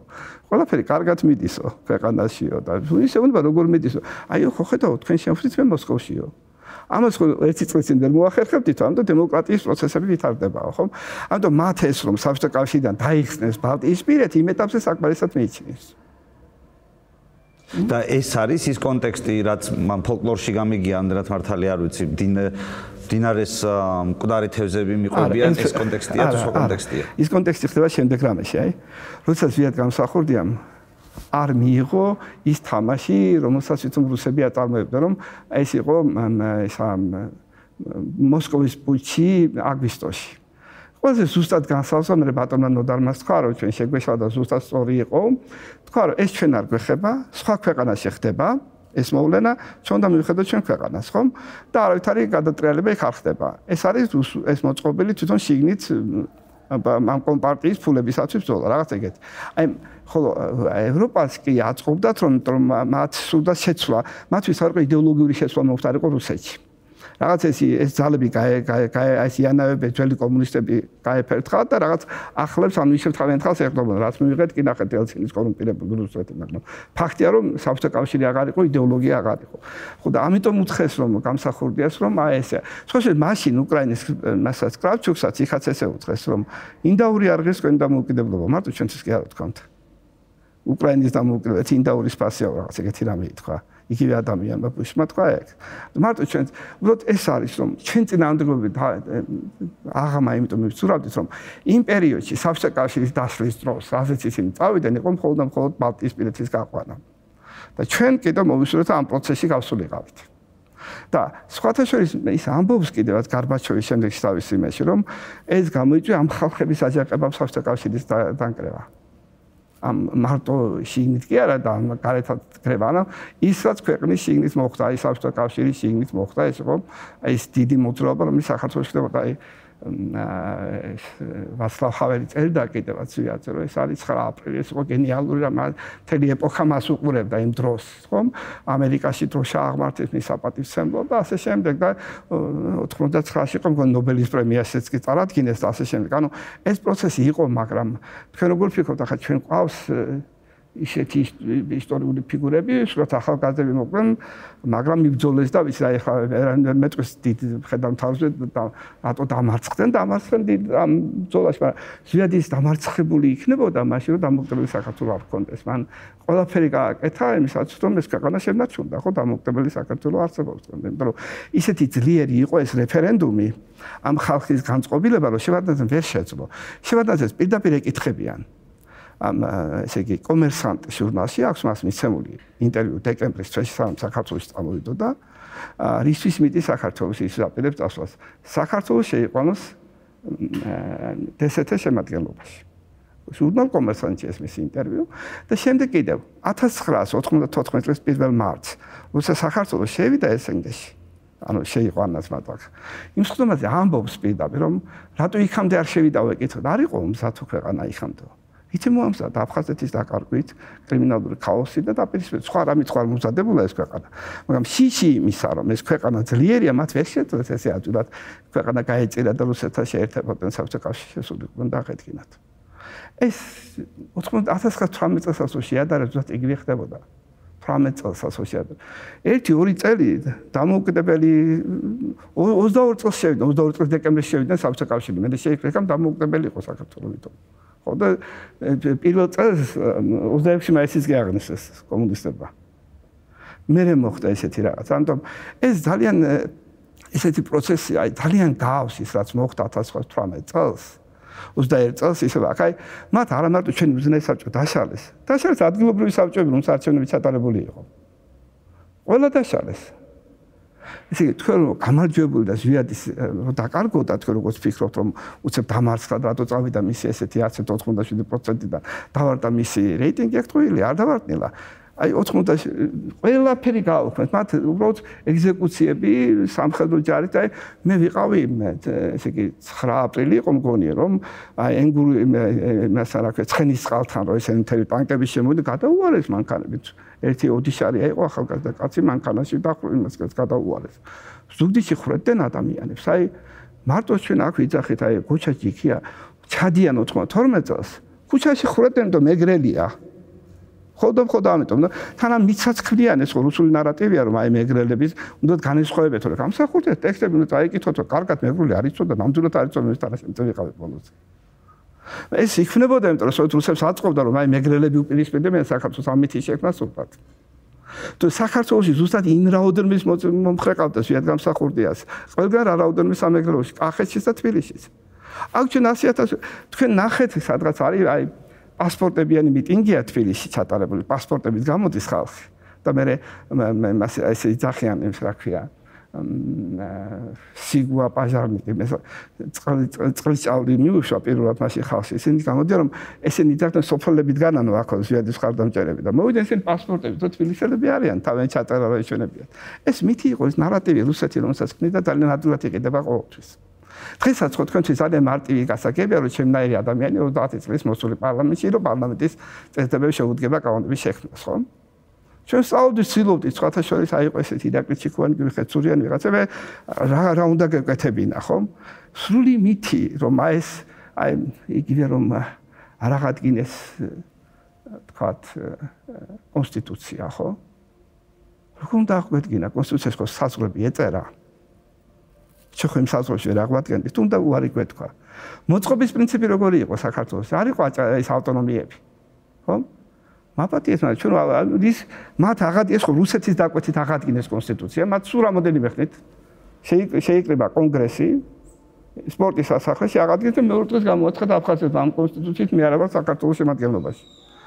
ბრალდება არ გახსოვთ გამსახურდი ეს მათ რომ ხო ერთი მხრივ ნაციონალისტია ჩაგრავს სხვა ერებს ხო აფხაზეთში მიღებული წესდება რომ აფხაზი იგივე ხმა ქონდა რაც ქართლს თუმცა 17% იყო და უნდა ხუთი ქართველი.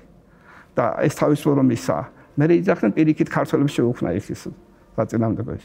ხო აფხაზეთში არც ერთ პრობლემა არ იყო სანამ გამსახურდია იყო ამასო ის მაგრამ ოსეთში სამხრეთ სამაჩაბლოში იყო. იყო რა საკვირემდრო ეს სამაჩაბლოში იყო 1900 ყველა აჯანყება 1918-21 ხდება სამაჩაბლოში ეს უცხო ელემენტს იყენებდა. სხვაშორის გარბაჩოვმა პირდაპირ უთხრა ეკაკო ასათიანს ვიყავი კაბინეტში დაურეკავთ რომ თქვენ ავტონომიებისგან მიიღებთ პასუხს. ავტონომიებს ინიყენებდნენ ამ საქართველოს დამოუკიდებლობის წინააღმდეგ. პირველი რასაკვირველია სამაჩაბლო გამოიყენეს პირველი გამოიყენეს და ეს დაპირისპირება იყო, მაგრამ პრინციპში ეს ეს რაღაცა შემდეგში ამათ შექმნეს, აი თქვენ ნახეთ მთელი მარხაც როგორ უნდა ვილაპარაკოთ ამის შესახებ, აი თქვენ გაქვთ წარმოქმნა ამის შესახებ, აი რუსი დისიდენტები, რუსი დემოკრატია, ახლა ხან სადღაც წავიკითხე ბროჩკის ლექსი უკრაინაზე, ძალიან ისე უყურებს ხომ? და მაგრამ სახაროვზე როცა ვთქვით რომ გამსახურდია ცირე იმპერია უყურთო და მაშინ კარგი იყო სახაროვო ძალიან ძნელი იყო ამათების გაგვეკებია რომ რუსი რუსია და იმპერიალისტი იმპერიალისტად შეება უმეტეს შემთხვევაში მახსენდება რომ იმას რა ქვია დიმიტრი ყიფიანს მეფე ეგონა ცუდი თორე ქვემოთ ხალხი კარგი იქნებოდა ისინი რუსი ხალხი და რაც მიიღო მიიღო და შემდეგში იმათაც რა ქვია ნოე ჟორდანიესკი რუსი დემოკრატები ეგონდა კარგი და ნახეთაც მიიღო ხო? ამიტომ მათ ძალიან იმპერიული ინტერესები აქვს აი შექმნილი სახაროვის თეორია იმის შესახებ რომ რუსეთი საქართველოს არის ცირე იმპერია აი ბონერი პირდაპირ ამბობს თუ გარჩება გამსახურდია საქართველოსი ჩვენ დავკარგავთ თელ კავკასიას არა მხოლოდ სამხრეთ თელ კავკასიას ხო ამიტომ იყო მისი ნამდვილ ბრძოლა ადგენდა 53 რეზოლუცია მიიღეს პრაღაში ამ ადამიანებმა გია ჭანტურია ეროვნული დემოკრატები არიან. გოგა ხაინდრავა ეს მონაწილე ეს ადამიანები ხებულობენ სადაც წერენ რომ გამსახურდია ჩაგრავს ოსებს და ეს არის ამ ხალხის ეს მიიღეს იმიტომ ეს და ანუ საფუძველი რა იყო ამის? შეიძლება მესმის რომ გადაჭარბებულია შეიძლება ნაწილობრივ ტყუილია რაღაცა მაგრამ რაღაცას ხო ეყრდნობა როცა ამას ამბობენ. იმას ეყრდნობა რასაც ისინი აჭარბებს აწყობენ. ნახეთ ეყრდნობა რას? ქართველი ადამიანი მინდიაშვილი აქ.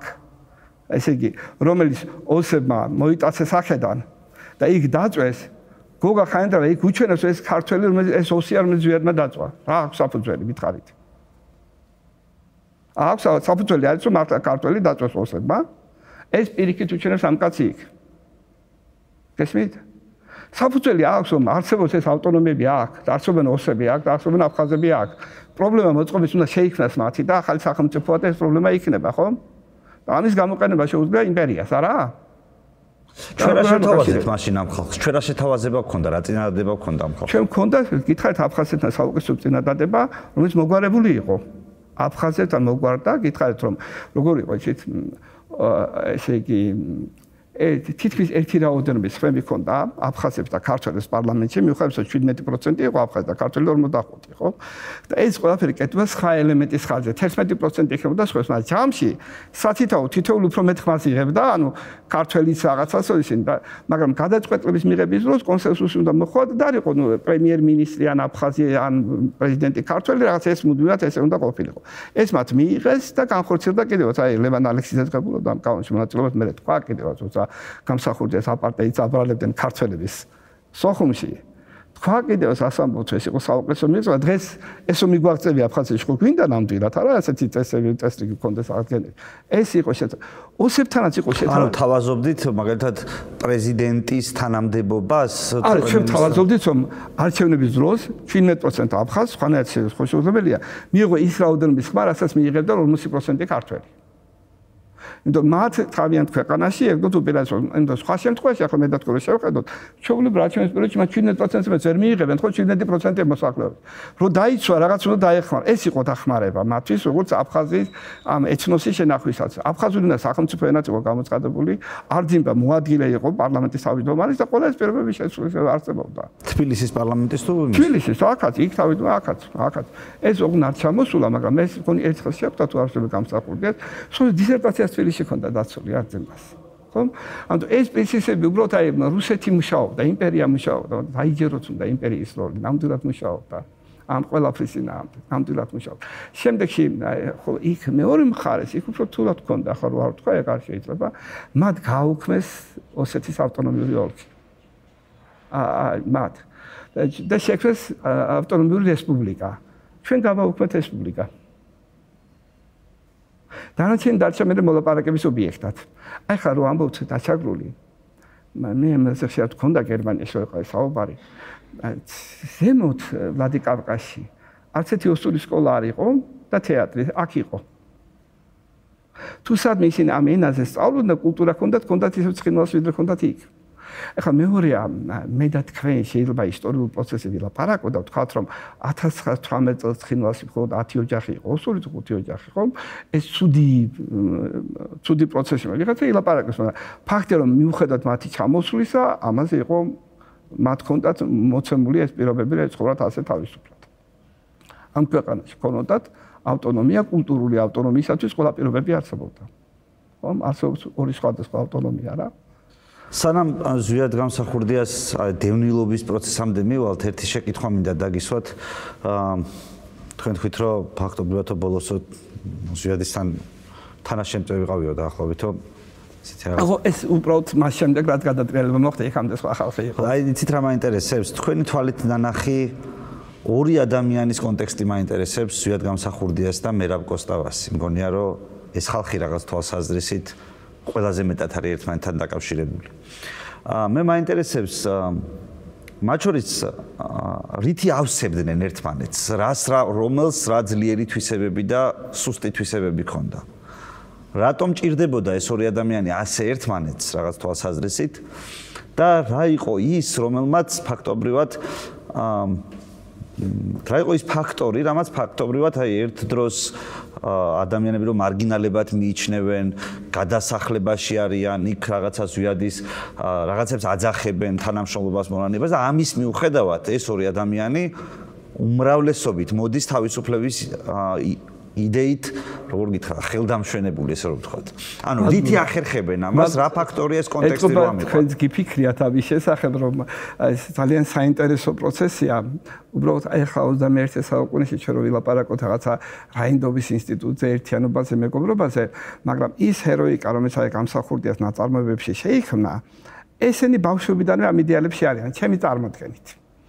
აი მუდმივად ერთად და ერთგულად აი აი იმიტომ რომ მე რაღაც ესე მგონია რომ მე გითხართ ხშირად ვიყავი სახში კაბატონოლიკოსთან აი მერაბის დედასთან და რა ვიცი აი ესეთი წარმოდგენა მქონდა რომ ის ზვიაც ისე განიცდიდა, აი როგორც დედა ნამდვილ. აი ჩაულებრივ შემთხვევაში აი მერაბი გარდაცვლილი იყო და ის მხოლოდ ზვიადი იყო მისი იმედი, სხვათა შორის და ერთი იდეაც არ დაგავწევ ეს განუყოფელი რო იყო ეს იდეა რომ საქართველოს დამოუკიდებლობის აქცია ზვიადმა სპეციალურად მოიყვანა 9 აპრილს ქალბატონი ოლიკო და ხელი მოაწერინა. იმდო თქვა რომ ამ გზაზე მერაბის ერთად იბრძოდა. მერაბი იყო ამ გზაზე, მასთან მერაბის გარეშე დამოუკიდებლობა არ იქნებოდა. მე მაინც გონია რომ აი ახლა რო ვიკითხოთ ჩემ ძმას ქრისტეს მიერს ლექსი და რაინდობის და ერთად ვიბძვით და ჯერ მერაბი ამბობს ბევრი ზიადი ამბობს ბევრი სილობდაო ჩვენთან მეგობრობას მაგრამ ჩვენ ორნი დავრჩით ამ ქვეყანაზე. ის კიდე უნება ძრას ქრისტეს მიერსო შენს გარეშე ეს არაფერი არ იქნებოდაო ხო რა იმ ამ რაღაცა ის ხმა რა არის საჭიროება და ის უნარები რომელიც ამას გააჩნია მერაბი არის ნამდვილი რაინდის თვისების აი რაღაც ავთანდილივით არის ცოტა ის ცოტა ესეთი როგორც იცით აი მერაბი არის ნიმუში მეგობრობის და მე რა შეიძლება ყველასთან კომუნიკაცია. მიუხედავად ამისა, რომ ზვიად ქონდა დაპირისპირება იმ ეროვნულ მოძრაობის რაღაც ძალებთან, მე რაბს ყველასთან ქონდა კარგი უთო. აი მე მაგალითად მე რა კოსტავა გია ჭანტურიან გამაცნო. პირველად მე რაბი გამაცნო გია ჭანტურია, ხო? ანუ მე რაბს ყველასთან შეეძლო მისვა და ურთიერთობა, კომუნიკაცია, ღია გახსნილი ადამიანი იყო, მაგრამ ის იყო აბსოლუტურად დარწმუნებული გამსახურდიების ოჯახის იდეის ერთგულებისადმი, რომ და ზვიად იყო მისი ძმა, ანუ მისთვის ეს იყო განუყოფელი იდეა ზვიადი და აი ხა უნდა ნახოთ ამ შვილის გარდაცვალების დროს მიმოწერები ურთიერთობები თქვენ ნახავთ რომ მათი ტკივილი არის განუყოფელი მთლიანად. თავდაპირველად მე ჩაულებრივი მაყურებელი მას როდესაც მე რა გარდაიცვალა აი ისეთი რაღაცა რელიგიური პროცესიდან შევხედე ამ მოვლენას და ცოტა არ იყოს მიკვირდა რომ ზიად გამსახურდია ძალიან ცდილობდა და იბრძოლა რომ მერაბი დაესაფლავებია მთაწმინდას. და ეხლა ჩემთვის ასეთი მწუხარების დროს ხანდახან მგონია რომ უხარება მთავარი და ასაფლავე, მაგრამ ამით ის ვიადმა მთელი ეროვნული მოძრაობას გამარჯვების და წმინდა გზა დაუსახარო, აი ეს არის აი ეს ამან უნდა გამოიმარჯოს. ანუ გახსნა სწორედ აი ეს გზა რო აი ჭეშმარიტ რომ მართალ გზაზე დგანა სწორია. ყველას უჩვენა, აი მერაბის იქ დასაფლავებით, ხომ? და მასთან ერთგულებით ეს იყო რაღაცა, აი რაღაც მისტერიაა თავისო შეხედეთ, რომ მერაბი არ არის არც ხელისუფლების დისიდენტია, გამოსულია კარეთ, ხომ ასეა? და არაფერთან ანდობა რო ჭირავს არც დიდი ის არის ხომ? აი დისიდენტია მხოლოდ და ზუსტად გამსახურდი აკეთებს რომ დაასაფლავოს თაცმინდას, ხომ? ეს იყო აი აი იმ იდეებისადმი, აი საქართველოს დამოუკიდებლობის იდეის სახე შექმნა. უბრალოდ შემდეგში ძალიან შეეცადა ეს ხელისუფლება მერაბი და ზვიადის დაპირისპირებას და ოლიკოს ან მე მის ქალიშვილთანაც მოხდა რაღაც ამბები ხო გახსოვთ თქვენ მაგრამ მე პატარა ვარ არ მახსოვს ხო არა მის ქალიშვილი უცხოეთშიც გაუშვეს ის თამთა დღეს ერთადერთი ქალიშვილი ყავდა დარჩენილი რომ რაღაცა უნდა თავემთხარ და შევარდნაძე ყველა თავენ კაბინეტებში დაკიდეს მერაბ კოსტავას სურათი რომ ყოფილიყო ზვიადის ალტერნატივა ისინი იღებენ ეროვნულ მოძრაობას მემკვიდრეები არიან მაგრამ აი მერაბი იყო სხვა და ზვიადი იყო სხვა ამის შექმნა. მე აი თქვენ რაც ძალიან გაჩნდა მონანიების იდეა თავისთავად და მე პირდაპირ მერაბმა დაწერა რომ ჩვენ ამის შესახებ მოვილაპარაკეთ ერთი მაინც გარეთ უნდა ყოფილიყო. იცით რომ პოლიტიკა არის შესაძლებლობა განხორციელება. პოლიტიკა ნიშნავს შესაძლებლობის განხორციელება ანუ რა შეგიძლია ამიტომ პროცესები არის ასეთი ხომ?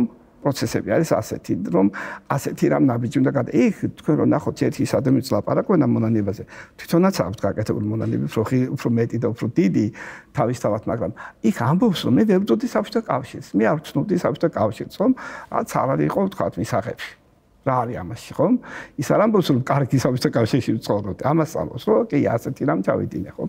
მაგრამ ეს იყო მათ შორის რომ ერთ-ერთი ებრძოლა თან ზვიაც მეტი კომუნიკაციები ქონდა უცხოეთთან უნარებიც მეტიც რომ ასეთი სიტუაციები განახორციელებინა და ეხლა თავიდან ბოლომდე მე აი აი მერაბის აი ოლიკოს ოჯახის მემკვიდრეობა ზვიადის ოჯახი იყო მერაბის ოჯახის მემკვიდრეობა მისი ოჯახი იყო. ისინი ხო ყველანაირად ზრუნავდნენ, ცხაშინელებებს აკეთებდნენ, რომ ოჯახი ოჯახს დაეპირისპირებინათ პიროვნება პიროვნებას, მაგრამ ვერაფრით ვერ შეძლეს მერაბის და ზვიადის და დიდხანს იბრძოდნენ. ხო, ესენი ხო 56 წელს პირველი გამოსვლა დისიდენტური დეკემბერში არის ზვიადის და მერაბის. ისინი მაშინ საზოგადოებასაც ქმნიან პირველ სკოლის მეათე კლასის მოწაფეები. მათ ბევრი მეგობრები ყავდათ. ათიც იყო დაპატიმრებული, იქიდან ხოდ ორნი დარჩნენ. მეორე იყო, იმიტომ რომ ისიც არის ეს არის დიდი მარათონი. თქვენ როგორ ფიქრობთ, ვიღაცა ვერ გადის ბოლომდე. არა? თავისუფლების ძოლის მარათონი იყო ხა. ეს ისტორია მე ერთ ამში ვარ დარწმუნებული, იმიტომ კი არა მარტო მე პირადად მომწონს, პირიქით მე მგონია გამიმართლა ეს ბედმა რომ ამ პერიოდში რამადანთან მომიწია მოღვაწეობა, მაგრამ ვარ დარწმუნებული, რაც უფრო დრო გადის, ვიადი უფრო მეტად უფრო მითებში აღმოჩნდება და უფრო მეტად დაფასდება და ჩვენ ახლა რეალობაზე ვლაპარაკობთ მე და თქვენ ამ წუთში. ხო? იმიტომ რომ ეს არის თავისუფლებაზე უფრო მაღალი და უფრო მაღალი ჯერჯერობით ჩვენ არაფერი არ აქვს. რა ხდება, როდესაც ზვიადი საქართველოსდან მიდის? როგორ გრძელდება მისი ცხოვრება? თქვენ ამბობთ, თქვენ ვიცი რომ ბევრჯერ ის კიდევ ყოფილა გროზნოში რომ დამანახოთ ქვეყნიდან წასული პრეზიდენტის ცხოვრება და მისი ჩამოსვლა საქართველოში. არიან უნდა ვთქვა რომ შეიძლება შეხედავ იმის ასე შენ გადის ესე არ არის რომ მე დავინახე ისაც რეალობაა და ვთქვა რომ ძალიან სევდიანი ესეთი რამ აი ესეთი მითი მახსოვს რომ რაღაცა იმის ჩვენს ხალხებს გავდა რომ აი აქედან გაფრენილ მერცხალს ელაპარაკება რომ აი უნდა საქართველოსი ყოფნა. მე მაინც გონია რომ ერთი წუთითაც კი სხვა იდეით არ უცხოვრიებდე საქართველოს. აი შეპყრობილი იყო და თქვა საქართველოს იმისი თავისუფლების იდეით და მოუკიდებლობის იდეით რომ ეს რუკაზე დაენახა და სოფლიოს დაენახა ეს ქვეყანა რო არსებობს ხო და ეს და ამას მოყვება ხდებოდა თქვენ რა იქნება? აი ეს თელი ეს წარსული რომელსაც გამოფენდა რაღაც აი დიდი მუზეუმი ხომ? ჩვენი ბრძოლის თავისუფლების ასეთ ქვეყნის აქ არსებული ევროპული ქვეყნის ევროპული აზროვნების ადამიანების ეს მისგან შექმნილი ეს იდეებია სწორად აი ეს ეს ეს და ის რაღაც ის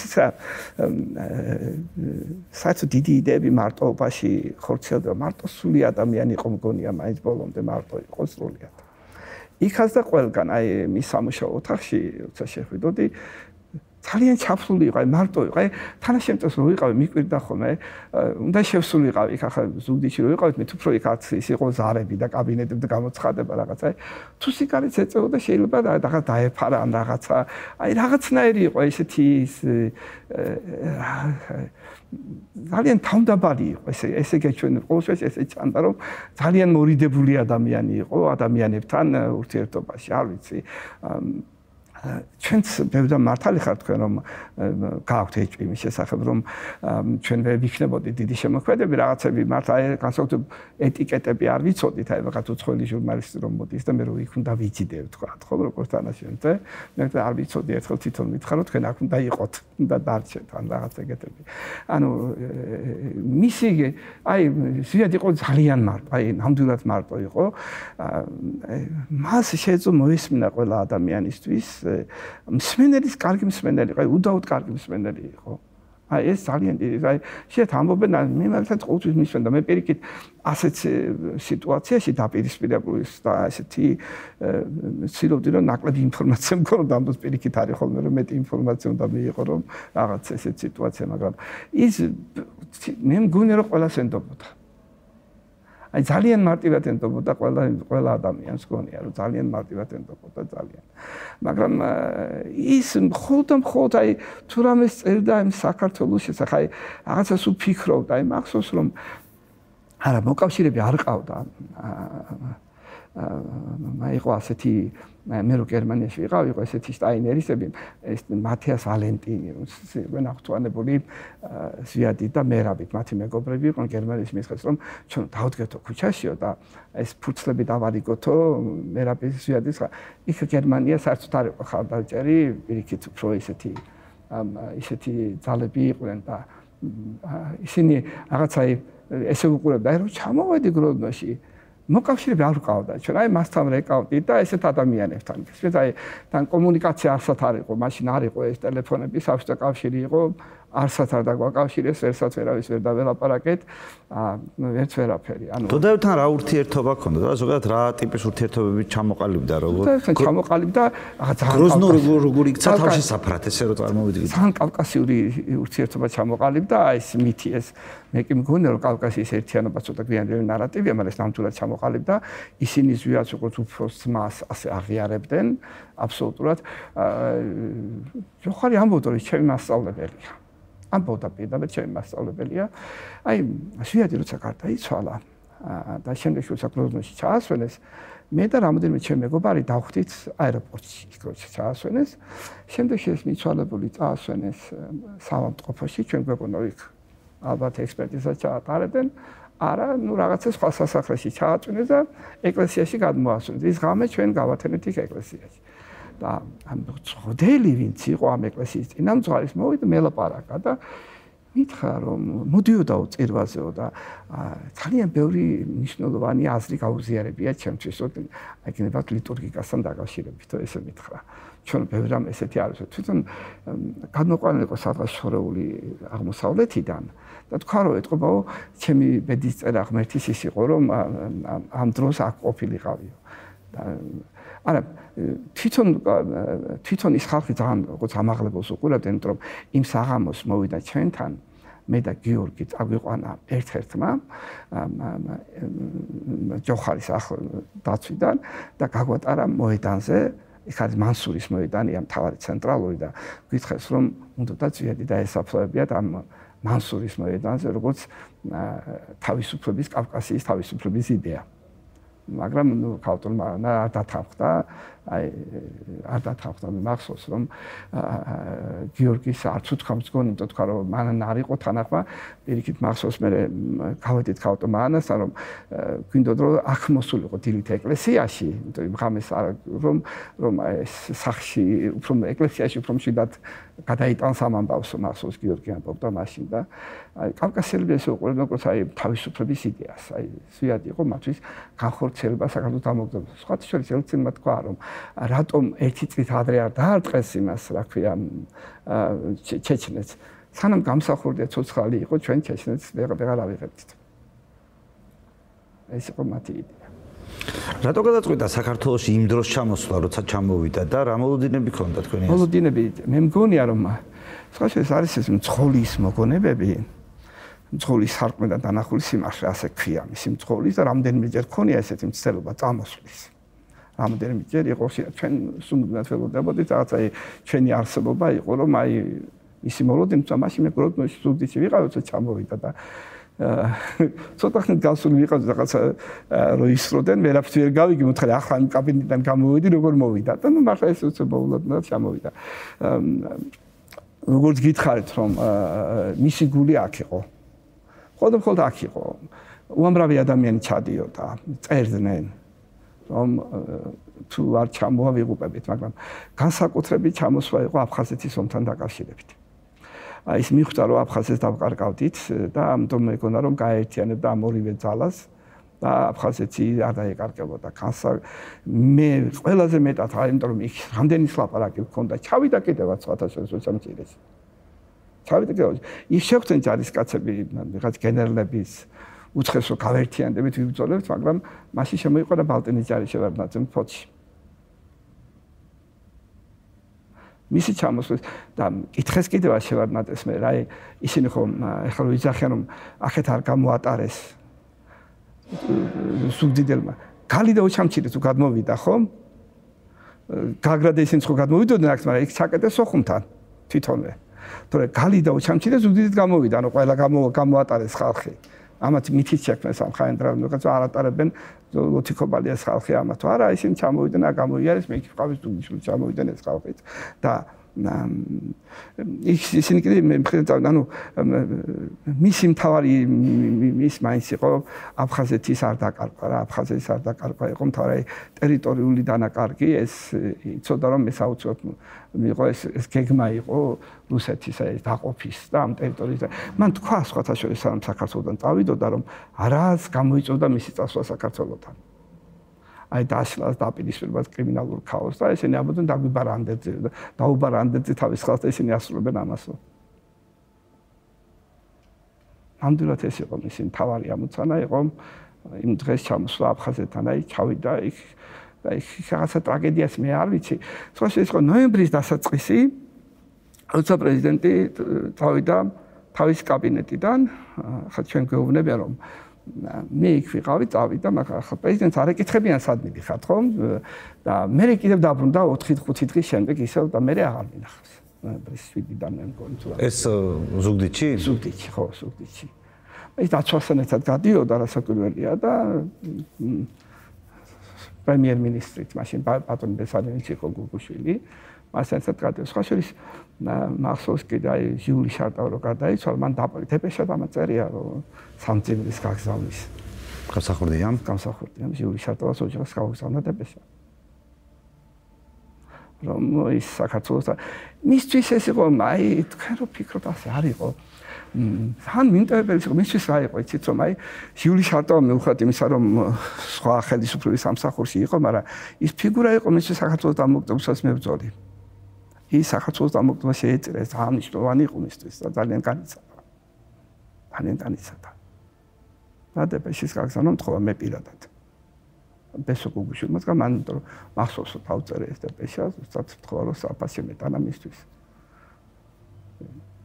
მაინც აფხაზეთი მისი იდეა მაინც იყო საქართველოს თავისუფალ ალბათ იცით რა ის რასაც დღეს ჩვენც კი გაგვიჭირდა არის ყოველ შემთხვევაში მე შეიძლება თავიც კი არ ამგონია, მაგრამ რას წარმომიდგენია რომ არ იყო რაღაც ალბათ ვიტყოდი, რომ როცა ხელისუფლებას დინარეში ხარ რაღაცები აღაც არ მოგწონს ყოველთვის, ხო? რაღაც ეს ყველას გვაქვს ჩვენთვის იქ ჩვენ არ ვიყავით საძმო, როგორც ადამიანის მიაშე პარლამენტში, ხო?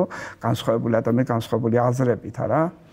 მაგრამ დღეს თვითონაც ხედავთ რომ თითქმის არ დარჩა არც ერთი ადამიანი რომელიც არ ნანობს და არ ამბობს რომ არ იყოს სწორ მხარეს იმიტომ რომ და უმეტესობა ამას მე იარაღი არ მქონია ხალხი ამ დღეებში შემხთა ბატონი გოგი ხოსტარე და მითხრა რომ ძალიან ნანობ რო ზუდიჩი არ შავედი და არ შეხვდი ბატონს ვიაც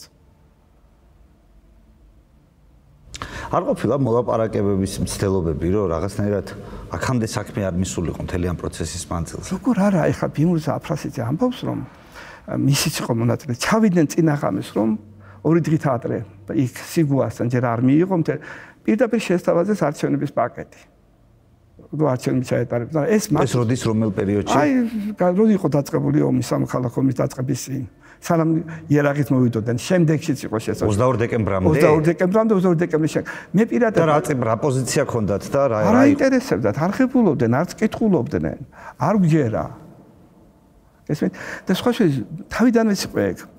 ნახეთ ეს ხო სუტყვილია რომ გამსახურდია საქართველოს დამოკლება ცნეს მაშინ და შევარდა ჩამოვიდა 38-მა ქვეყანამ ცნო მათ შორის ამერიკის შეერთებულმა შტატებმა 25 დეკემბერს ცნო როცა აქ იყო ჯერ კიდე ომი იყო დაწყებული 25 დეკემბერს ყველა დიდმა ქვეყანამ ყოველსა და ოსი მნიშვნელოვანმა ქვეყანამ. ანუ ეს არის სრული მითი რომ არ ცნობდნენ შევარდნაჩავს ცნეს სანამ ზიად გამსახურდი აქ იყო მე შეიძლება შუალედი იყო შევარდნაჩ ჩამოსვლამდე სანამ კრიმინალები იყვნენ. კი მაგრამ იქამდე სანამ აქ იყო 38-მა ქვეყანამ ცნო. სხვა შორის ზიადი შეიძლება ცდილობდა რომ ამის როლი შეესრულებინა ეკლესიას. ერთხელ მეც ვიყავი ასეთ ჯგუფში ჩასული, მაგრამ ეკლესიას არაფერი გავუკეთებია სამაგისოდ. რო შეგვიდა მაშინ კიტოვანი იყო სხვაზე გასული, შეგვახედოთ იმ ხალხს, არა იქ მოიყვანა აი ეს რა იყო ისა კარტია 93 წევრები და დღეს იმ პარლამენტში მოდიან ხვდებით. შეხვედრა იყო საჭირო, კიტოვანთან სიგუასთან მათ წარმატებული სხვაზე იყვნენ გასული. ეს არ მოხდა. არც ერთ შემთხვევაში არ მოხდა. არ გავაკეთეს. არა, ანუ ეს დიდი ჩვენგან იყო ინიციატივა და უარი იყო იმ ადგილას. კი, ჩვენგან იყო ზვიადმა შექმნა ეს ჯგუფი, გაგვიშვა საპატრიარქოში. მიქამდე რა, იცით ცოტა ის გამიკვირდა რომ იქ კიდევ მიღებული იყო. ყოფილი თანაგუნდელები არიან რაღაცა ერთმანეთს იცნობენ. რა შეჭirdებოდა ჩვენმოვალი? არა, ემათა ჩვენ გვიდოდა სიგუაკიტოვანთან ვიღაცა, იმიტომ რომ შეიარაღო სიგუაკიტოვანი ხო ზვიადის ყოფილი თანაგუნდელები არიან. საკუთარ კოსმოსი არიან გასული ყველა და ახლა თქვენ როგორ ფიქრობთ, ახლა რამოდენიმე ადამიანი ისა ქვია მიხელ სააკაშვილის ministri იყო, ახლა იქიდან მხარესო იმაშობა და თხოვთ რომ გამოუშვი და ცოცხალი დატოვება, ხო? იყვნენ დასაგმა ეს ესეა ცხოვრება, ხო? დაპირისპირებული ძალა. ან ჩვენი საუბრის ბოლოსკენ რო წავიდეთ, უბრალოდ ანუ არ შემიძლია არ კითხოთ. აა ზვიად გამსახურდიას მომხრეების დევნის პროცესი. მე ამაზე ბევრი რამე გამიგია, მათ შორის ვიცი რომ ჩემი კოლეგები, პარლამენტის წევრები ციხეში წიჯდნენ. აა ეს რა პროცესია რომ მომიყვეთ ისტორიკოსის თვალით დანახული? აა ზიად გამსახურდიას მომხრეების დევნის პროცესში, რომ აი რაღაცნაირად რა არის ნამდვილი ამ პროცესში, იმიტომ რომ მე ბევრი ბევრი სხვა ჭყვილ მართალი გამიგია, მაგრამ თქვენ რაც შესწრები ხართ და დადასტურება შეგიძლიათ ასე იყო ეს რა იყო? არა აი რასაც შეიძლება ალბათ შევადაროთ რომ ნათელი იყო რაღაც აი ხანც ისეთი ძალიან ჰეროიკულად გას აი ქრისტიანობის დოინდო დევნას გავთ აი პირდაპირ გებძონ როგორ ზვიადი აი ესეთი კლიშეები არსებობდა ზვიადისტი და გებძონ აი მე მაგალითად ვსა დავბრუნდი ამ ამბების შემდეგ უნივერსიტეტში ერთ-ერთი კოლეგა კარებთან დგას და ერთი ჯერ ქალბატონი ხდება, ყლელი მოდის, ფაშისტი მოდის. ვიღაცას ვიყურები იქეთ, თუ ჩემს ლაპარაკს, რომ კარგი ურთიერთობა მქონდა. და იძახის რომ მე თქვენ მე-18 ჩამწარე დასახოთ და სიაში არ ჩექსი არ არსებობდა ყველამაც იქოთ. მეორე კარებში ხდება, მე ფაშისტებს უნივერსიტეტში არ შევშებ. აი ყო შემთხვევა მაგალითად უნივერსიტეტის ლექციას ვკითხავდი, უკანა კარებში სამი ძვირფასი პროფესორი იდგა, თუ იჯდა თორმე ბიბლიოთეკა იყო და რაცა თხელი ის კედელი ყოფდა ბიბლიოთეკარმა მითხრა მეორე დღეს დამეპარა ისინი აქ ისდენა ხო და გუშინოდა მთელი დღე ყური ქონდათ მიდებულია და ეს ვიადისტი იყო საწყალი. მე ხმას ვერ ამოვიღებდიო იმიტომ რომ გაიგებდნენ მე ჩვენ ვიყავიო და ну რა იყო უბრალოდ ჟანადარს ვკითხულობდი და დამიფარეს რომ ეს არ შეიძლება ნაციონალურად კითხვა ისტორიის და რაღაც ფაშიზმია ჟანა რატო იყო გმირი რაღაც ეგეთები ეს წარმოდგენა არ ხონდა ის ამას მელაპარაკობდა ჟანაზე მაგრამ ნუ გამაფრთხილა რომ რაღაც ეგეთი ანუ სახლებში მოდი დღემდე მე მაგალითად თქვენ წელი გამომიქცევთ მე მიჭირს ამ წელის გახსნა ანუ ესეთი იმით რომ აი დაკაკუნება შემოვარდნა ეს ძალიან ძიმე პროცესი იყო აი აი რატო იჭერდნენ? მაგალითად მახსოვსო ხალხი ციხეში იჭერდნენ აი მიტინგებისათვის, გამოსვლისა, შეკრებებისათვის ერთად იკრიბებოდნენ ეს ადამიანები. ერთმანეთს ამბებს უყვებოდნენ. ვიღაცამ თუ გროზნოს ამბავი გაიგე, ვიღაცა მიტინგებსაც გამოდიოდით, ხო? მახსოვს ბეიკერი რო ჩამოვიდა, მაისი საათი იყო, გვესროლეს, პირდაპირ გვესროლდნენ. ჩემი ყოფილი სტუდენტი იდგა იქეთ ნიკოლატის სასწავლებლიდან. და ცოტა შეუვარდი, არ მაშინ მეგონა რომ არ მესროდა, რომ უთხარ არა გწვენია მეთქი კაცო. ხო? აი ხო ჰანს ჰერბერი დაწერა მაგან კიდევაც გერმანიაში. მე ვხუმროდი მათ ხარ აი კადრი იყო რომ გადამეყო ესეთი რაღაცა ხო? აი ყველ ყველგან დევნით აი დღემდე არის. ერთ-ერთმა მითხრა რომ აი ჩვენ ხო რაღაც უკვიცოს იატისმა წერა კითხვა ის ხო შექმნეს მითი რომ ისინი არიან პროვინციალური ფაშიზმი აი ეს ეს ეს შევარდნაძე იყო ხალაკელი ზიად პროვინციული ფაშიზმი ხო შექმნეს რომ დღემდე მარგინალიზაციას ეწევიან ჩვენსაც და ჩვენი ადამიანების სადმე რამე სიმართლის ქმის არაფერს ყოველ შეუძლებელია, იმიტომ რომ დღემდე ეს ფიგურანტები მუშაობს, ეს მუშაობს ეგ შევარდნაძეს მითი და ლეგენდა რომ აი ევროპისკენ წაგვიყვანა და გაგვიხსნა გვიხსნა ამ იმისაგან. ეს ისაკავს აი სახშილო სპილოლო მი ყველაფერი შემიყვანს მე ნენდელო რომ გაკავდა რომ თავისუფლებას ახლა ეგ თვითონ შექმნეს ეს კრიმინალური ქაოსი და მე გაიყვანეს ხომ?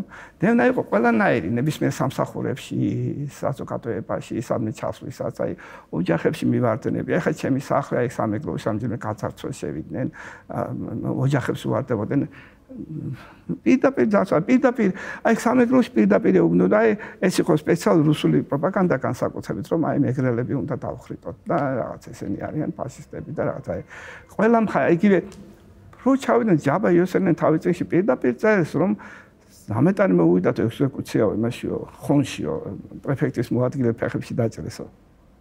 ხო ასე ყველა რაიონში ასე შედიოდნენ, ყველგან ებრძოდნენ, ყველა აქ ვიცო თბილისში ოჯახებში, სახლებში. აი, რამდენიც გინდა ისეთი მეგობარი ქალების დააპატრეს, მე მიყვებოდნენ რომ ესე იგი ფუცლის შეტანის უფლება არ ქონდაო და ეს პარგალკებით, მაშინ რაღაც სერიალები გაჩენ, სერიალების ამბავს რომ გზად ისე პარგალკით შემოდიოდა რომ არ შეუდა ხუანიზების ამბავი მოგვეყოლაო.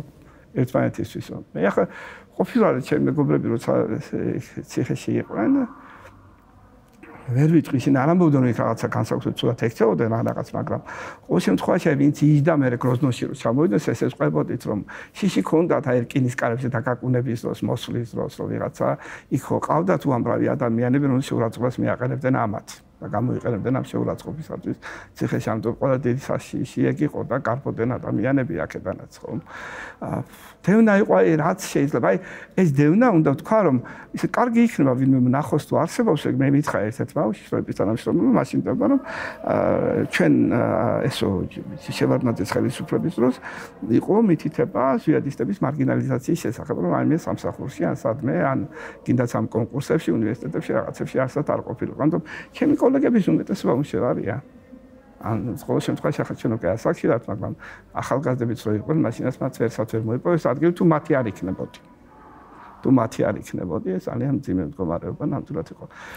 ძალიან დიდი მადლობა საინტერესო საუბრისთვის. რამე არ არის ისეთი, რომელიც რომელზეც შეკითხვის დასმა მე გამომრჩა, მაგრამ ადამიანებს დაეხ უკეთ დაეხმარება ეროვნული მოძრაობის კონტექსტის ახმაში და იმის გააზრებაში თუ რისთვის იბრძოდნენ ეს ადამიანები საბოლოო ჯამში და თქვათ რისი გაკეთება შეიძლება და უკეთესად.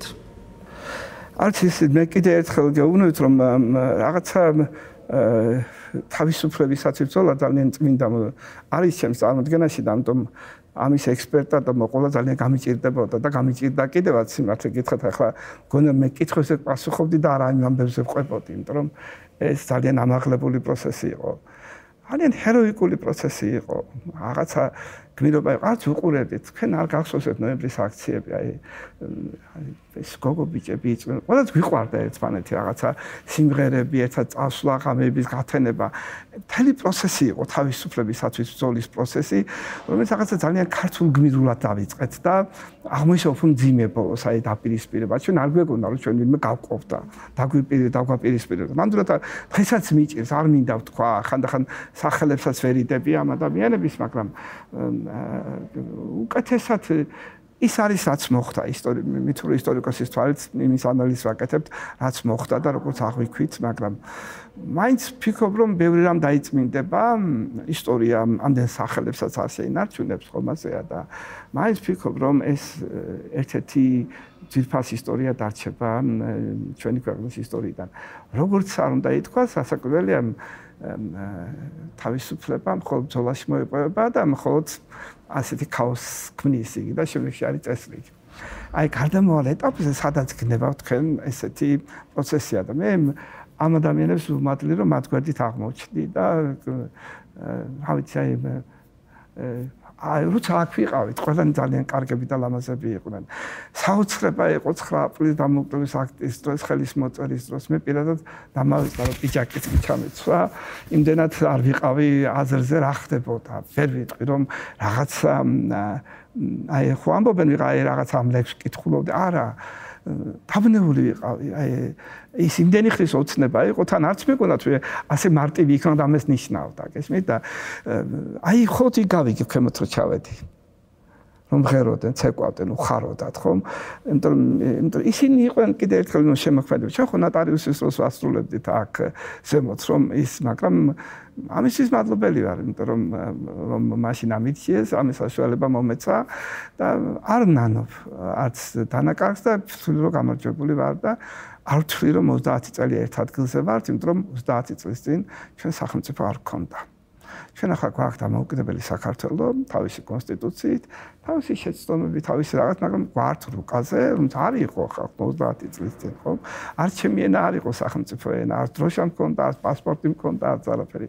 დღეს გვაქვს და ეს ძალიან მიხარია და და რა თქმა უნდა, რაც ყველაზე მთავარია, დღეს გვაქვს შესაძლებლობა საკუთარ თავს დაუდგინოთ წესები. რომელსაც უბრალოდ იმდენად ცუდად ვიყენებთ, რომ ისევ იგივე წესებით ცხოვრობთ სამწუხაროდაც საბჭოთა კავშირში, ხომ და უმეტეს შემთხვევაში. რატომ იცით, მე მგონია რომ ჩვენ ვერ ვისწავლეთ. ჩვენ საბჭოთა პერიოდში კანონებს არ აღვასრულებდი, სხვისი გაკეთებული კანონები იყო და სხვისი კანონი არ უნდა შემესრულება პირიქით. აი დღეს ვერ მივხვდით, რომ ჩვენ გვქონდა ჩვენ უნდა შევასრულოთ. ამას დრო უნდა ეს ყველაფერი ჩვენს გონებაში ხდება. ჩვენში არის ჯერ კიდე საბჭოთა ტრამვა. ეს ტრამვა არის შემდეგი რომ მეგონა ტრამვა ის იქნებოდა, რაც განვიცადეთ არა? ტრამვაი ისე რომ დამოუკიდებლად კეთება არ შეგვიძლია. გვიჭეს ველოდებით ვინ მიგვითითებს ვინ გვეტყვის როგორ გავაკეთოთ. მე და ჩემს სტუდენტებს ყოველს ვეუბნები იყავით მამაცი და გააკეთეთ სადაც გინდათ. იყავით თავისუფალი ეს არის ყველაზე მთავარი სიმამაცე. მე ახლა გვიან ვისწავლე კამპანიას რომ ეს იყო მთავარი. მაშინ ჩვენ გეკონდა რომ უნდა ყოფილიყავით მორჩილი მჭრეტელი ადამიანები მაგრამ დღეს მთავარი არის სიმამაცე და ამას ეს არ აკლდა და ისე ექნება მე დარწმუნებული ვარ. დიდი მადლობა საინტერესო საუბრისთვის წარმატებებს გისურვებთ.